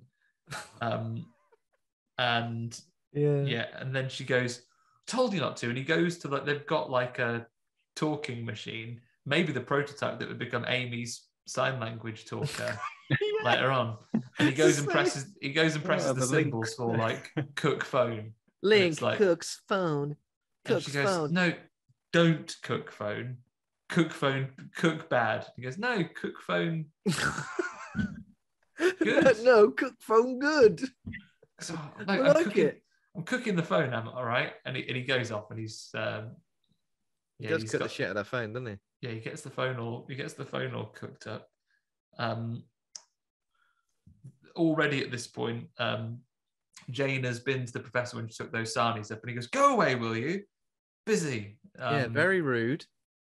Unnecessary. and she gets a phone a phone call from like an anxious um get like everyone's got this It's typical isn't it you know sometimes when you're going to see parents get a bad rap but it's quite often parents isn't it that you go into the house and they phone you quite often slowing you down in what you're doing and leaving and like phoning all right is everything all right yeah i'm just phoning to see if you'd left yet i would have done I just wanted to know if you're on the don't see if you left yet, and evidently you haven't. Yeah, th- So get on the fucking road. Yeah, you know what? You know what drastically speed me up being at this place I went to. Not been on the phone because I've kind of stopped what I was doing to answer this call. Yeah. Worst of that, worst of that is if you're ever going somewhere and it's you've got a sat nav there as well, because people will always phone when they expect you to arrive. AKA, if you're driving between cities, that bit when you're on the intricate part of the drive, when you really need to listen to your sat, it doesn't. You don't, I don't need to listen to the sat nav saying stay on the A74 for 38 miles. That's fine. It's when I'm, it's when I'm at the very last bit, and you're like, especially going somewhere in a city centre, and it's mm. like When you have to turn your radio down, that Yeah. that bit. That's, Yeah, and yeah, you're really, yeah, yeah. and then you're really on that thing. And if your phone's on your sat nav, then everything mm. goes off, and you can see receiving call from it's like, no, fuck off, no, not now, No, no, no, anytime but now. Like, yeah, if this, you know, if that was happening in fiction, that would be like Luke Skywalker approaching the the Death Star run. He's on that thing, and instead of Luke, instead of Obi Wan giving him that advice and saying, "Oh, you know, trust your feelings," it'd be him going. Are you almost at the point you fire the missile yet, Luke? Because um, you are going to need to fire that. no, it'd be a very different story. Put off at the last second. So there's been a call from someone going, "Has he left yet?" Um, so she goes up to check, and no, it's just um, just old Imp in there, and he's and he's hungry. I'm not sure at this point because he's pointing at where his he's pointing at a cupboard that he wants her to go in. And I'm not in the room, and I can tell which cupboard he's pointing to. Yeah, yeah, yeah, yeah. She's looking at every cupboard but is she fucking with him? is, your, is your dinner in here? Oh no, it's just plastic fruits. Oh, silly, silly silly imp. What at the this one at the top left corner. Is it at the bottom left? No, no. oh, what's this? Oh, a load of poisons and stuff. You don't oh, want to eat that, do you? Loads of these bottles of jizz from the, that he's been collecting for his other experiment. Oh, He's like, Jesus. oh, um, it's not there, is it? And then and then he opens it and I thought, oh, finally, you'll open this last one. That's where his food is. I was I was mistaken. It's a dead ape. It's a dead ape. It's the corpse, corpse of voodoo, uh, who's been murdered by who? We never do. Do we ever find out? I mean, are we supposed to just No, assumptions? um, yeah, we, we don't know, but um, having find found the the murdered voodoo, poor voodoo, rigid, obviously was surprised by the rigid, yeah. murder. Um, yeah. Voodoo falls out the cupboard, you know, stiff as a board. Um, Yeah. And Jane says, Right, um, I've got to find out where the professor is. He's clearly gone because his car's gone as well at this point. He snuck off without saying goodbye. Rude. Um, the last thing he said to her was, "Fuck off." Fuck off and leave me she went in with that food, did she? Yeah. Can you make me, Spill it all over the make a bit of food? Yeah, here's your food. Fuck off. What? Oh yeah, because the ape. This is when he's chasing Impram with a stick. He basically like putting someone through a table in the wrestling. He dives down and smashes through the tray. And you, he's like, "Oh, just leave that, will you? Close the door." Get out of Um, here. Yeah. So yeah, Voodoo's been murdered. She goes to town, tells Link to stay with Imp. He doesn't. He felt. I feel this is a tonal change. She's like, "Oh, it's better to be nice to him. Explain to him like children." She walks away from the house and he's she fucking whasses a rock at him. Yeah, she does. Oi, stop following me, twat. Slings a rock at him. And he's like, fucking hell. I like this. This is this is Link's like second outfit. So his, his first outfit is waistcoat, shirt, jacket, all that stuff. And he's got a more casual look, which is just trousers and a shirt. Shirt and a undone a bit. Yeah. So he's following her. She lodges a rock at him. Says, "Go out of the house." Well, yeah.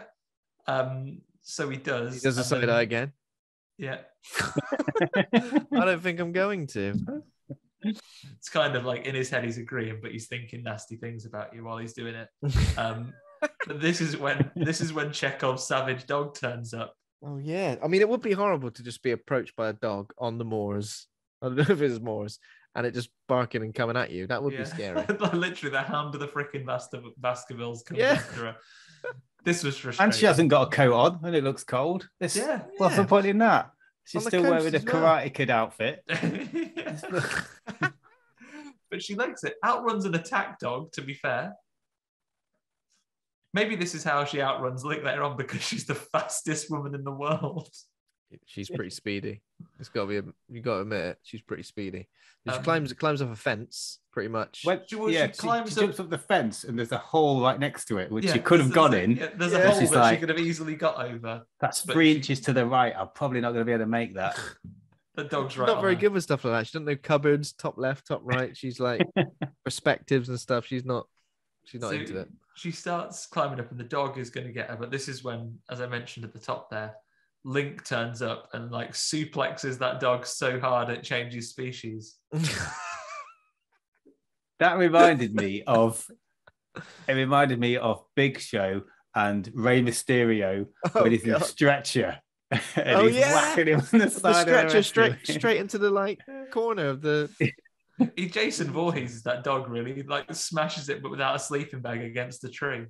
It's horrific. That dog is immediately dead and changes species as well. Yeah. and then And there's a Doberman. does a side eye. Yeah, That's right. I murdered a dog right in front of you, but I doesn't like put his hand out like yeah, like is he going for a fist bump or is that like the forgiveness thing? It's like come on, I was a Forgive dickhead me. and I followed you, but I forgive you. us You now. murdered a sentient being. Well Yeah. done. Um, so what happens now? They go back to the house, don't they? they go back they go back to the they go back to the house after the after that and then the, the guy who was on the phone turns up and he Yeah. goes mr the professor oh he's not here well give him this check when you come it's for voodoo um, Did you bring- notice who he was, Andy? I don't know I- if you'd know, but it's I s- Tosh from the Bill. is it tosh Oh, It's Tosh from the Bill. Yeah, That's from the bill. I racked my brain for about a day, and when I was rewatching my edit of it, I was oh like, yeah, it's the, it's the fucking lack of the mustache. It's Yeah. the lack of the mustache. No way. That's Tosh. insane. That is insane. the anti-tosh he doesn't have it Because I um, yeah that's that's that's i would have never got that's a that great spot. telling. If there's a great spot. I'm not gonna do Uh, yeah, that reminds me uh, So she's the- acting. So Jane is acting like, oh, I've sold something on Facebook Marketplace, but bloody, hell, I accidentally sent it, sold it to someone else as well, and they've turned out to get it. And you got to like lie. What? No, don't go upstairs. No, it's not here. It's, it's damaged. It's damaged. Damaged. No, Voodoo is fucking dead. yeah But, but this guy kind of takes it. He just goes, "Oh, dead. Oh, that's a shame. That's all right. I'll take Link instead. I got to put him down." Yeah, so I'll, t- I'll still take him. Maybe we'll get like 20 quid for our eyes or something. Um, Twenty quid. For, why does he want to take the? Why does he want to take the corpse? He's gonna fuck it. yeah, he's gonna, yeah. For he's, fuck's yeah, he's gonna do all Tosh. sorts to that to that thing. Does his old Gonna use the hair to make a moustache out of, so he can go for acting roles in the Bill. Yeah, oh, I've got an audition. You know that mustache yourself? Yeah, yeah, I did. I did. It looks glued on. It looks like Ah, eight. I don't know what hair. you're on about. It looks like ape hair. Thanks. I mean, what? Um, because all right, I'll still take the old boy because I'm um, so I'm gonna kill him. I Yeah. said what? And she goes, no, don't, don't kill him. Um, no, you're not. Oh, of course, I've, I've, I've forgotten. This is after he's already been an eighth perv, where she goes to take a shower and he's just standing in the doorway. Oh, of course, yeah. But so Yeah, things are, that's- things are frayed between them. But you would think this kind of fixes it up a little bit because she won't let him. She says, "Right, give me that." He loads of tranquil. Well, you know, he loads up a gun with poison. Is he just going to blow him away in the driveway? He's gonna take him out. He's going right. Stand against the wall. Turn around. give, Turn him a, around. c- give him a cigar and a blindfold. Take your- Stand up against Take your final puff of the cigar. Look at the flowers. Look, look down at the flowers. Oh, lovely, aren't they? Bang! Fucking have it. watch the rabbits in the field, but you shot in the back of the head. Um, yeah, but he doesn't do that because Jane kind of wrestles the man. He gets back into his car because the apes, the apes team up against him.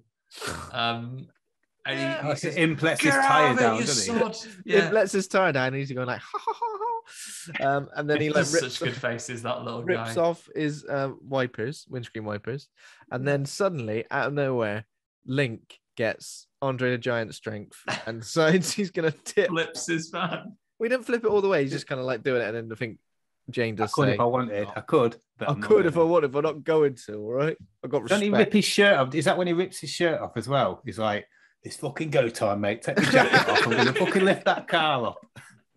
Yeah. If you had some braces, I'd be fucking twanging of your little bugger. like the mayor of a town. Yeah. like one of the Kray twins. Yeah. You comes out with it, and yeah, he comes out, almost slips the ban, but then the guy, the guy chips off. He drives away, um, and you think that that's uh, that that that's kind of it, right? They've they've solved it, but then immediately after, Link tries to drown Imp in the well. He's like sealed him in there, so he gets done, and they've broken broken two rules at once here because Jane basically goes, Link, you absolute prick, putting him down that well we're going inside and you're staying out there. And he's like, oh, forgive me. And he's like, no, So you've, you've you've involved themselves, you've involved yourself in their squabbles, and 2 rules broken. and you've not forgiven him. And then the unwritten fifth rule, you've absolutely cucked him because he clearly fancies you because he's spying you in the shower ready. And then you're leaving him literally standing outside the window, so when he's spying making on, you watch making you watch do gambols with the other one. oh yeah. When so when he's when he's spying on her in the shower, she just decides not to have a shower because she just like, absolutely not. If you're not It's, it's a bath, isn't it? Yeah. It's Oh, a yeah. bath because I was distraught about how she just wasted all that water. It's like, oh, that your boiler, your heating's going to be bad in there anyway because of your updraft. You've wasted all this hot water. This is you're going to have to if you've got a cup of tea tonight, microwave, and it's got and it's got half a telephone in there. So good luck with that. Oh, is, is Link at this point stripped to the waist as well? yeah. So He's Link stripped is to the yeah. waist, isn't he? So Link's there, he's outside, and um, Imp also uses the talk talking box, and and like she's saying, "Oh, should we let let Link back in while he's outside?" Like literally, his face pressed against the glass while you're gambolling around on the crash mats with the other monkey. And Hey, while sorry, there's a, I'll get and where there's like a storm happening as well, and he's There's just still happening outside, like, soaking wet on the window. And she's like, "Should we let Link back in?" And then Imp is like, he Fuck types him. a thing saying, "Fuck him, kill him, kill." Oh Okay. yeah, Rod types in that kill Link, but he does like this. He goes kill Link, stinky bug Link. kill Link for a laugh. Could Kill- be a laugh. And he goes, Kill no, him. don't- he's like, don't kill him. Well, but then she still doesn't go all the way good though. She goes, oh, we'll let him in in a bit. Yeah. Well, she lets she keeps him out there all night, doesn't she? I, I'm not sure actually. I don't remember I think when I think the goes only time we see him, the next time we see him is he's in the van. So I think he like sought shelter in the van. Hmm. Yeah. Poor Link. But yeah, he definitely Imp has the right idea, unless Imp is the true villain of the piece. We never know.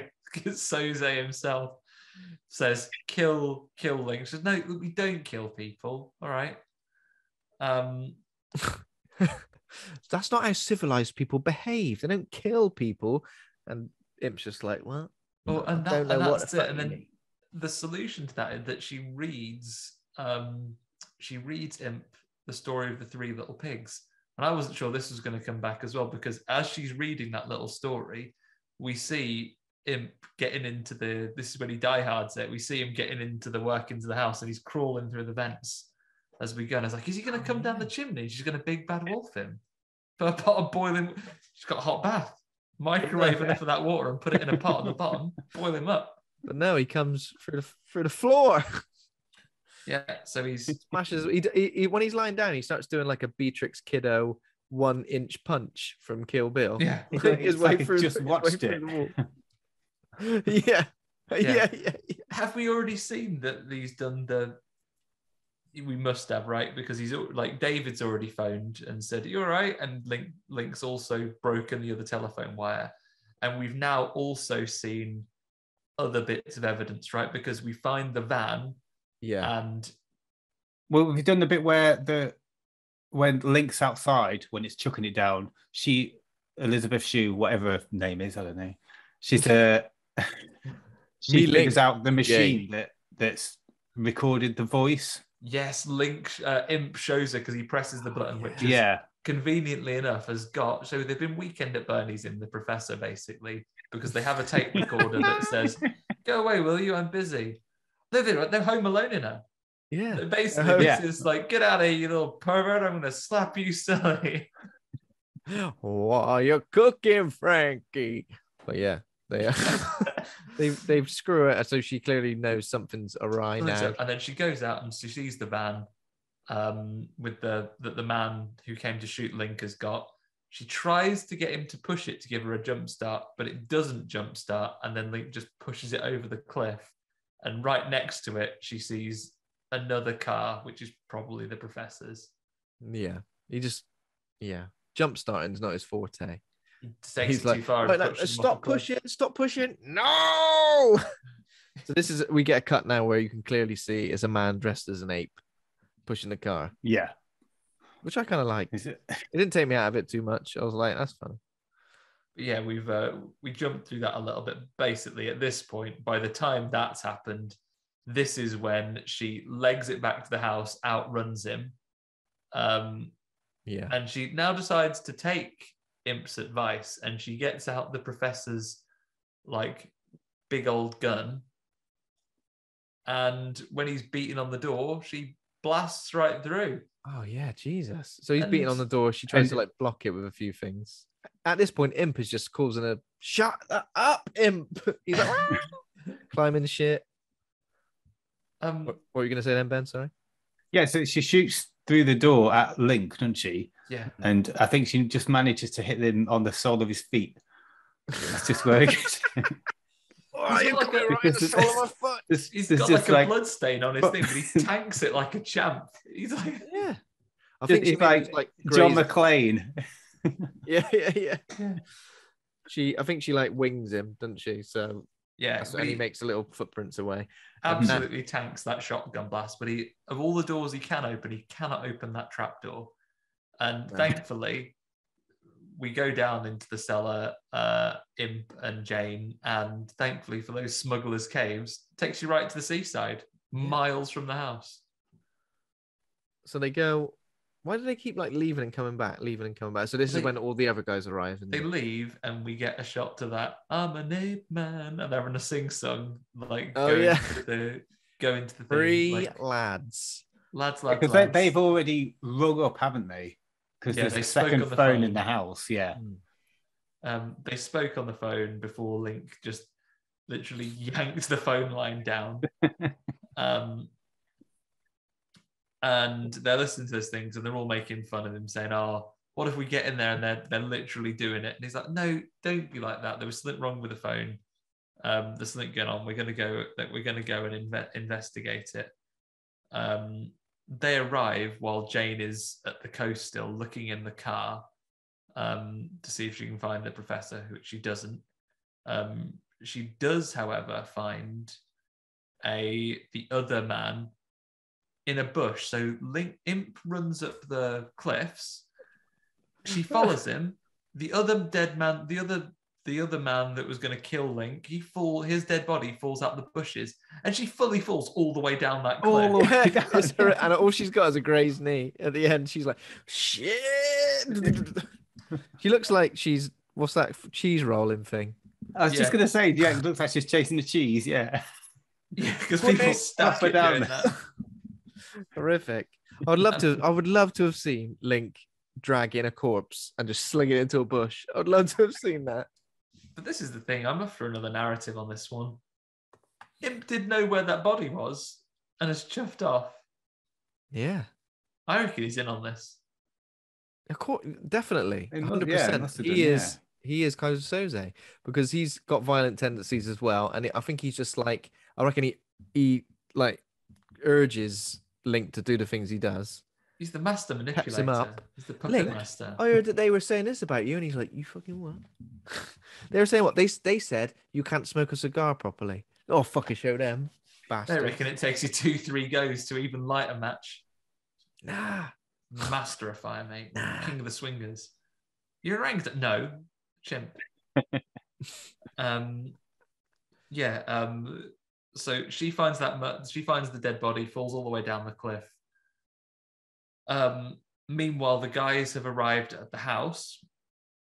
Um, great work in getting the Scottish friend to be the one that announces in his best like Taggart voice. There's been a murder. there's been a murder. That guy I recognise. He's been he's like a character actor. He's been loads of stuff. Yeah, has I a he's picture in- on IMDb. He's one of the one of, the Oh. main one of your main guys. I think he's in Luther as well as like a, some police guy, some police guy. But yeah, so he discovers the body of He discovers. go. He was. He, well, does he? Oh just goes- yes, he does. Is yeah. he the one that just just turns up and goes, "Oh, so pull the blood there. I'll put my finger in it." yeah, that's Is that- that, is one that guy. It's, Yeah, a, it's a different yeah. guy. Oh, is that the ne- is that the next guy? Uh, because the first the guy says there's been a murder. Goes, I'm literally waiting outside. I'm not Yeah, this. yeah. And then he looks Got a down. bad he's- he feeling looks about down this. the well and he's like, I can't really see down this well. What will it? A single match will be Yeah. just what I need. so he lights a match and holds it down. need to buy this brand of matches. And he drops that match all the way down the well. It stays on and it lands on an ape's cage. And who should be down the bottom of the well? But the professor. Professor written out too early. Professor, Professor Written out. Professor His, written out. his, his dead is body is down down the well in the cage, stashed away. Maybe when Link was locked, maybe when Imp was locked down there, he was hiding that body. I Yeah. reckon. But there's she something to she's this. been there all the time. So how did they manage to do that? Well, while she was there, Maybe where he the was hell is hiding it Link? when Link was making her feel uncomfortable in the bath. Possibly. Oh, could have Where's been, yeah. Where's Link in this scenario? Because he definitely opens the well all the way, looks down, and some Link is somewhere, grabs him by the hair, Yeah, and pulls him in. Slurps him off down the well, that. doesn't he? I reckon he gets in. Maybe he was going to let him go, but then he lit that Hiding match on his shadow. first go. He was Hiding like, in the shadow what?" like that. I reckon. there can be only one. And he basically, the guy turns into and he ragdolls down that well. he, he is ragdolled instantly and he just like He tumbles down the well. It looks like Richard like- Kimball when he jumps off the the thing in The Fugitive, and you just see that. Oh, thing God, yeah. I didn't kill my wife. I don't care. Just literally amazing. So why are you a policeman then? Why, if you don't care, don't bother following me. Bye. bye bye. See you later. but yeah, he does. He, Definitely rag, dead. he ragdolls off, definitely dead. Um, so that's that's that one gone, and the other one takes a bit of a he takes a bit of a note from the film watching community because much like this film, the second friend gets absolutely letterboxed. yeah, the, He this does, is the doesn't he? guy. Look, this is the guy that's looking at the floor. Little ape hand comes through. He's like, "What's that in the, in the letterbox there?" God. And then an ape hand comes through, it literally drags him into the be, letterbox, and it just smashes into it. I think this might be where one of the other cuts happened, you know, because in a in an interview with the director, when he's talking about things being taken out of the film, one of the things he says about the differences in the movie is that an ape literally pulls someone through a letterbox. I don't think he would have said that if it said an ape pulls someone's arm through the letterbox, bashing them against the door and killing them, which is what appears to happen. And the guy does appear to become a puppet, which I don't think you would need to do. To do that. I think there's an original cut of this movie where the guy gets properly pulled through the letterbox. all the way. What like Night Nightmare on Elm Street style? Yeah, and then the comes out like. Concertina at the other side, or like a Tom and Jerry where he's become letterbox shape. Yeah. Get a good Oh, kill that'd streak going on. Pretty sweet all day? that. So he letterboxed him, and then the boyfriend David just gets thumped off screen, I guess, because he's looking at out the window, and we see Link coming up behind him. But the next time we see him, David is underneath the floorboards. Yeah. Yeah, so that's what I thought. I thought that when I was editing my video, I thought I must have like missed a bit out because I couldn't figure out how he just ended up underneath the floorboards. I'm like, what, what the fuck's going on? Why didn't Link kill him? Why did he just like say, right under the floorboards for you, mate? Passed out. Woke up underneath the floor. Just humiliating for him. That's all.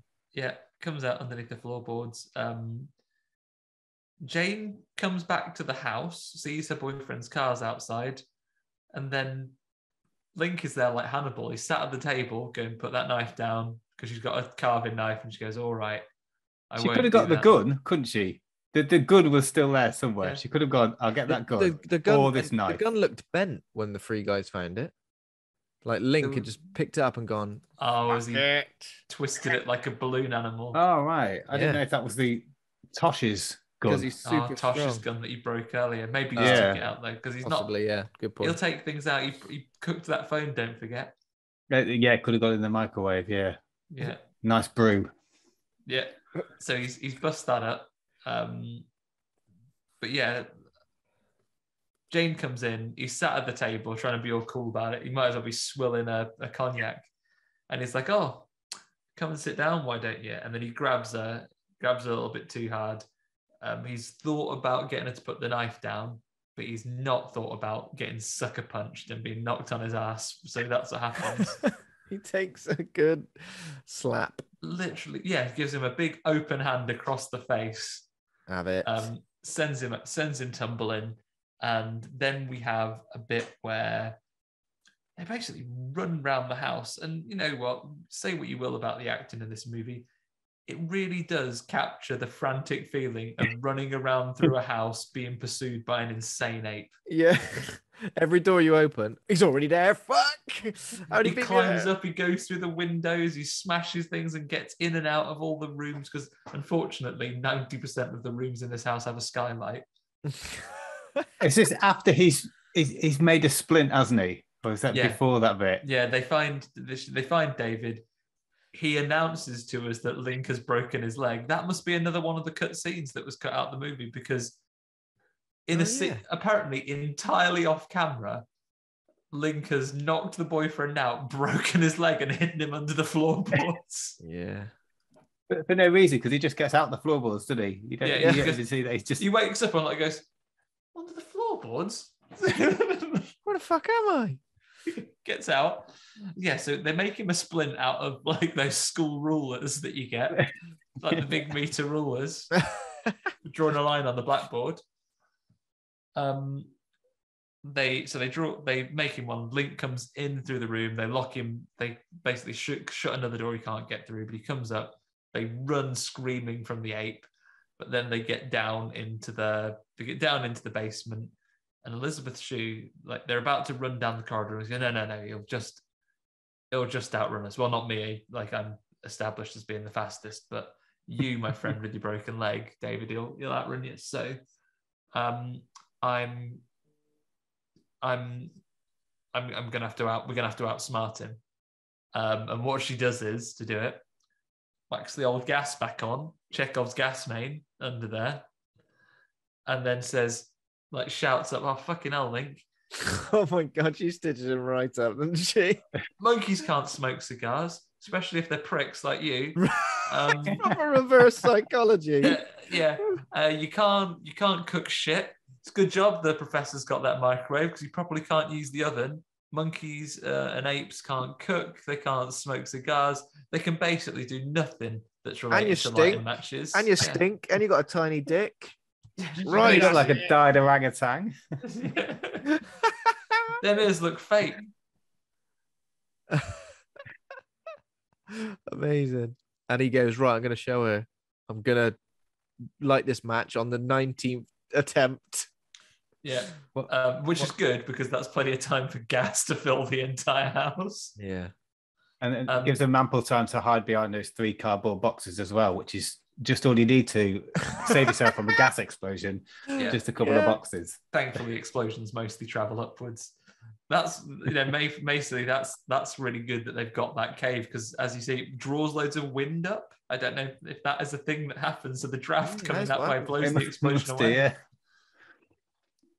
um but yeah so basically after being totally mugged off link gets absolutely punked and is tricked into blowing himself up but he doesn't get him it just the gas main Yeah. the gas main explodes Obviously, the the house, house is on fire now. burning down He- and he just singes his eyebrows a little bit. That seems to be all that happens. Yeah. So Link, in a very long and protracted way, as the others head through the cave, the smuggler's cove to like the back to the beach, um, Link climbs up into the house, swings across the, you know, he goes up the banister, he takes his shirt off fully, he takes what's left of his clothes off to become full ape mode, swings across the chandelier, goes up to like the top of the Addams family house that they live in, Yeah. like stands at the top of it and like goes no just before the the roof basically caves in and he falls to oblivion he falls. It's like it's like he's a little cutout of him falling into the. It's like his Ripley moment, isn't it, from Alien Three? It's the Die Hard moment actually it's very Yeah. um yeah it's very um Amazing special what's effects. Hans That's really- Gruber falling into the the fiery pit below Fantastic special effects. And then, um, as what what vehicle do they get in? Is it just? Oh, it's just their car. It's just a car, It's isn't it? Yellow, yeah, because he's Little got yellow cool, in- it's got Oh, a cool no. boyfriend car. Because there was a bit earlier on when she was in that car doing a 57 point turn or something like that. In a oh, tiny Oh, yeah, courtyard. I That's don't actually, know first- what was going actually, on. That's actually temporarily defeats him, isn't it? Because she uses the car to reverse at him, and he Yeah. breaks the windscreen, and then she smashes down his climbing frame. Yeah, smashes down his climbing frame. Don't Yeah, just hit it's- him with the car. i I've think never- that's that's one of the things. I wouldn't want to fight an ape. I wouldn't want to hurt one. But if I was forced to fight one, having a car would be a great thing. Yeah. But then fighting him in a tiny courtyard doing an 87 point turn is a bit humiliating for everyone involved, I think. Don't drive off and get help as well. Don't go get any assistance. Just No. just use fuel. Well done. Well Use done. fuel and damage the Did car it. by smashing down an entire jungle gym. Um, yeah, Yeah, she's not insured as well. Oh, that's disgusting. Maybe she's a name driver. They're, Maybe- then well, they're not. They're not that apparently, according to Oh. Jane, they're not that serious of an I item. don't reckon she is a name driver now. Not at all. She hasn't added it to the insurance. It hasn't got that serious yet. So as they're driving away at the at the end, they find Imp, who obviously made himself scarce during all the carnage, um, and he just sat on a little wall. And they go, "Oh, there he is. He was just down here hiding from all the commotion." If I'm David, I don't want any apes in the car. No, but he, he is like that. She's like, "Oh, get in the back with him," and he's like, "Fuck no, I don't want an ape anywhere near me." Uh, ah, and he won't break "Oh, your come on." leg. He's won't break just your a- leg. He's lovely. He's just a he's just a baby. He wouldn't hurt anyone. And I was I had to rewind and see. I only caught it at the very last second as I watched the first one. I was like, "Are we just gonna hear David like going ah?" At the last Yeah. second, but we don't. They oh, my balls, nose, and eyes and ears. He's getting them. You get them all. Um, um, but we don't hear that. Um, what we hear is nothing. But then you notice that the whole he goes, "Oh, imp wouldn't hurt anyone." But then, as we see as they drive away, all the sheep in that, that field have been choked out.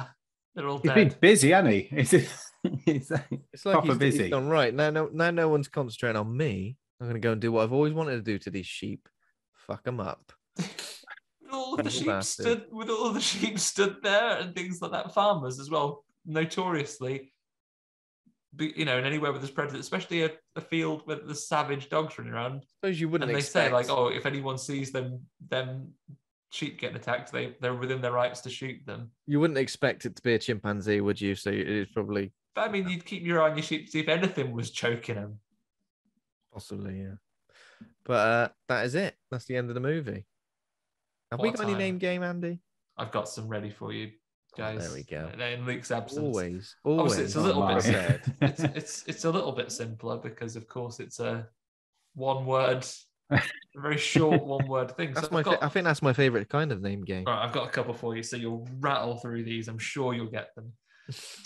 So Oh, a dear. young a young zoology student um, is takes on a role as a professor's assistant in the world, but um, finds herself assaulted by the insane hero of time. By the what? The insane hero of time. Yeah, the insane hero of time and legendary protector of Hyrule. Oh, Link. oh, Link. Link, correct? Yeah. Yeah. Just Link. Um, a young zoology student takes a job as a professor's assistant, but um, finds herself assaulted by um, a, mm, would say, mid to late 90s emergent pop star obsessed with a secondary color. Pink. Pink, correct. Pink. Oh, yeah, that's good. That's good. I was, I was nowhere near that. Um, Obsessed with a secondary color. uh, a young zoology student takes a job assisting a professor, but due to a pervy ape, um, is unable to bathe for the entire six week period. Stink. Stink, correct. Stink. Stinky bastard. Um, a young zoology student takes a job assisting a professor, um, but in a in a secret forbidden underground basement finds a large recreational ice area with deadly results. Rink. Rink, correct. um, a young zoology student takes a job assisting a professor, only to find out he's in some pretty pervy cum, cum collecting stuff. Kink. Kink, correct. Collecting Um, that spunk. Sorry. a young zoology student assists a uh, takes a job assisting a an eccentric professor. Um, fortunately for her, um, given the experience that a similar colleague had dealing with apes, um, this professor focuses his studies on kind of a sort of stoat, Skink. not skink. It's a lizard. Stoat. Skink. Skink's a lizard, isn't it? Yeah, Um, a stoat. Uh, oh, or polecat type creature. God, I can only think of. Uh, I can't think. Making was it? expensive coats out of them. Mink. Mink. Mink. correct. Damn it. I was gonna say mole rat. and finally, a young zoology student takes a job assisting a, a local excessive professor. Unfortunately, um, he has no animals, and in many ways, his alcoholism is the real problem. Drink. Drink. Drink, correct? Drink. I don't know if there's any more words, is there? No, there's no more. You're like, oh, I got a couple to rattle through. Rattle through. You've got them all. Yeah, all the all the rhymes. Very good. I'm sure, as they would say, you got them all correct. Ten out of ten. Fun. That was fun. Uh, okay, so now all we have to do is rate the movie from A to F. So Ben, would you like to go first? Oh, my life. Uh, oh, I don't, I don't know because I'd normally rate my movies out of 10. Hmm. So, have you given this movie an out of ten rating? yeah, I've given this a movie an out of 10, going on uh, a five being an average film, like a proper Yep. rating, not like five, like mediocre. So, five is an average film, 10's outstanding, and one's crap. Uh, I think when I, when I first watched it, I, I gave this a three. Oh wow. but the more I've watched it, um, I've I've appreciated I've appreciated it a lot more. I think, and it, it's more fun than I expected it to be. So I'd, I'd give it a five. I give it like an average, an Average average film. There's I'd nothing say a five was like a what would you say? probably C. Like a C? C? A C, yeah, Yeah. I'd say a C. I think I'd probably go with you on a C, just because I don't know how much of like the horror elements really do work. It's kind of like a monkey thriller that's a bit silly, uh, a bit over the top. Doesn't doesn't take itself too seriously. Uh, good central performance, but I think it suffers as soon as Terence Stamp is out of the picture. It does suffer. Um, yeah, and it's and it's a weird film. You're like, you're like, where is it set? When's it set? It's just an odd odd film. Uh, but the monkey actors are great, you know. Well done to the monkey actors, and I like that it's got this kind of other plot under the surface, which is like, is Imp really the evil ape? Which uh, which is interesting, Where you do know. you And it's a stand ni- on that? I think nice he way, is. nice way for the film to end, and we never ever got that Imp sequel. Gutted. Apparently, the director wanted to do one. Oh right, okay. He wanted to I do think it'd be one that was going interesting- to be set in a very different. I think he wanted to do one like actually set in Africa and so on, where Okay. they're on the All home the- ground. All the other animals are wearing suits as well. Uh, I so think yeah, it I would be think- interesting seeing like a, a director's cut, like if there is like the letterbox bit, Yeah, in it definitely. and find out what happens to old Davy boy. I think old Davy boy, yeah. Um, Like, but yeah, I think I'll go for a, a C as well. I'll join you on that, Ben. Okay. Um, again, it's, it's it, you know it's tough because we've been here before. Like I genuinely like some what I know objectively are awful movies. Um, this is a first watch for me, so I don't have necessarily the the nostalgia that goes with it. But there were some good things, and you're right. Bad apes are horrid. Those bad gorillas. Do I enjoy this as much as Congo that I do have lots of nostalgia for, or Monkey Shines that has some hilarious ape-based revenge in it? Maybe it's not. Oddly enough, I reckon that monkey in Monkey Shines actually a monkey, not an ape. Um, better at matches than than Link. She Yeah, that house down while definitely. there's people Way having an affair in it dead good at yeah. matches. Uh, didn't claim to be a master of fire. I still had some fun with this. I think it was some fun ape horror to round off our trilogy. Um, you know what, fuck it, I'll join you. I'll I'll join you on a C. I probably, I think, like Ben, I I think I I, I gave this a two and a half stars on on Letterboxd and that. So in reality, I'm probably closer to a C minus. But talking about it, I've had a lovely time. So I'll Yeah. up it to a C. And having discussed it with you guys, I'm more likely to watch it again just for for, for laughs. Maybe I should have Comedic bought it. yeah. Maybe I should have bought it on Amazon instead of just renting it. I think I thought the same thing. I thought exactly the same thing. I wish I'd have bought it. I think extra out of the other quid. monkey film, this is this is probably the weakest out of the other ones because I think quite like Monkey Shines and Congo is obviously in its own Yeah. realm of. I mean, look at I mean, look at the the star power of Congo. Ernie Hudson. You've got um, Tim Curry. Tim Curry, Bruce, Bruce Campbell. Campbell. Bruce Campbell, Come all the all the all the big players. There we go then. That is that What is your Well, I- ranking? I don't know, you've What's the got- ranking of the trilogy? ranking of the trilogy. ranking of the trilogy. Throwing it out there. How are you going to I mean, them? you know how I feel about Congo. So if we're calling it horror, let's say Congo's at far and away number one, Monkey Shines number two, Link quite far at the back, running along at the back slowly. Still those cigars. Yeah, you guys, you guys agree with that? Is that your rating as well? Those three. Have you I would do. Shines, Ben? Yeah, I have. Yeah, Yeah, I, yeah. I would do for horror. I'd stick with the same, but I think I've got um, more of a tie to this film because I've watched Yeah. it so much that I'd probably knock this up a bit. But Yeah, yeah. No, th- I won't disrespect this movie. I think if it was if it was horror movies, I think horror. I might go slightly off. For, for horror movies, I might go Monkey Shines, Okay. then Congo. I was and- trying to be and then- respectful of Congo, and- considering the company. and then this. But Yeah. in, term, in terms of film, in terms of films, I would I would watch. Like if I was um, if I was going to um, a desert island to to go and have to, you said you can only take one eight base. horror. I would take Congo. yeah. Um, but yeah, I, I enjoy all three of these. What a lovely what a lovely trilogy of eight What a lovely horrors. trilogy. Yeah. Well, thanks very much, uh, Ben. Where can we, where can our listeners find more of your stuff? Where can we find your Uh, channel? It's on YouTube. Um, I'm on YouTube, so if you just search for Needle Rats, um, one then word, isn't all- Yeah, all one word. Yeah, I only called that because I couldn't remember the name of the crack fox from. oh, from my bush.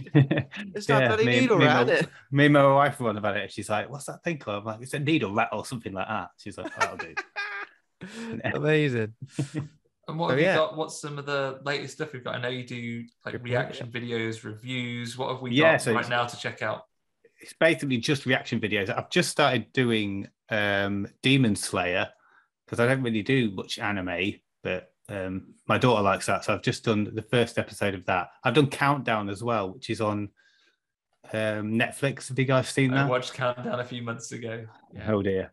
Yeah, that's on Carol. Vorderman is scary. And- I can never do the Um, numbers round. It's so fucking. I just can't. and obviously, you're going to be doing a link, do a link episode as well. That's right. yeah, the it? link episode's done, and I'll, I'll post it up when you guys post this up. So it'll be up now. Whenever So you listen if to you this. listen to I'll- this, search for Needle Rats on YouTube, and you'll find his reaction video as well.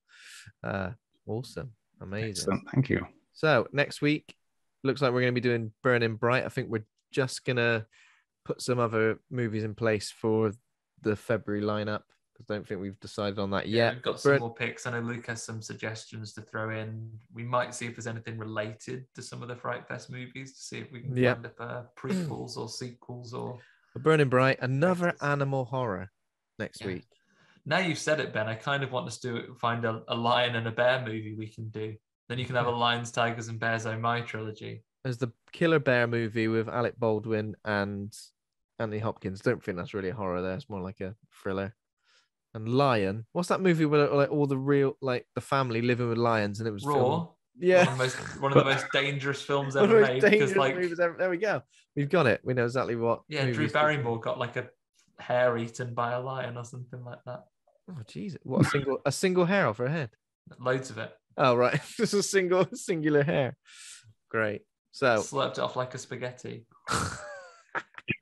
delicious. there we go then. So thank you very much for listening this week. If you enjoyed the show, you can become a patron just like Ben Scaife over at patreon.com forward slash horror hangout.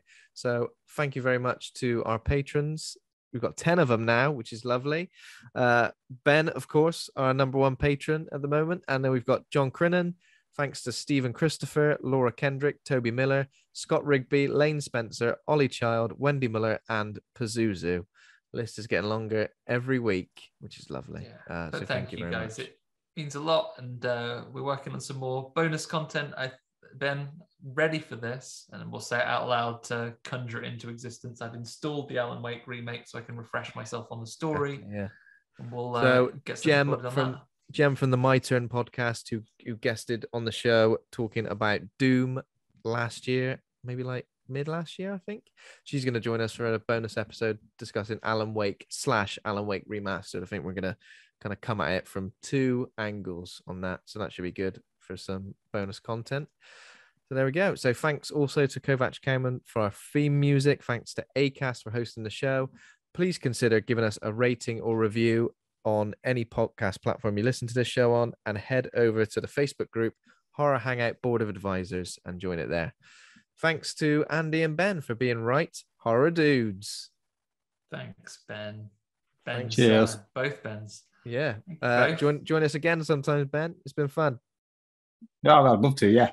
Definitely. Cheers, guys. Thank you. See you for Shakma. See you for Shakma. Don't have to be monkey horror, but it should be. Right. See you later, guys. See you later, guys. Bye for now. Cheers. Bye.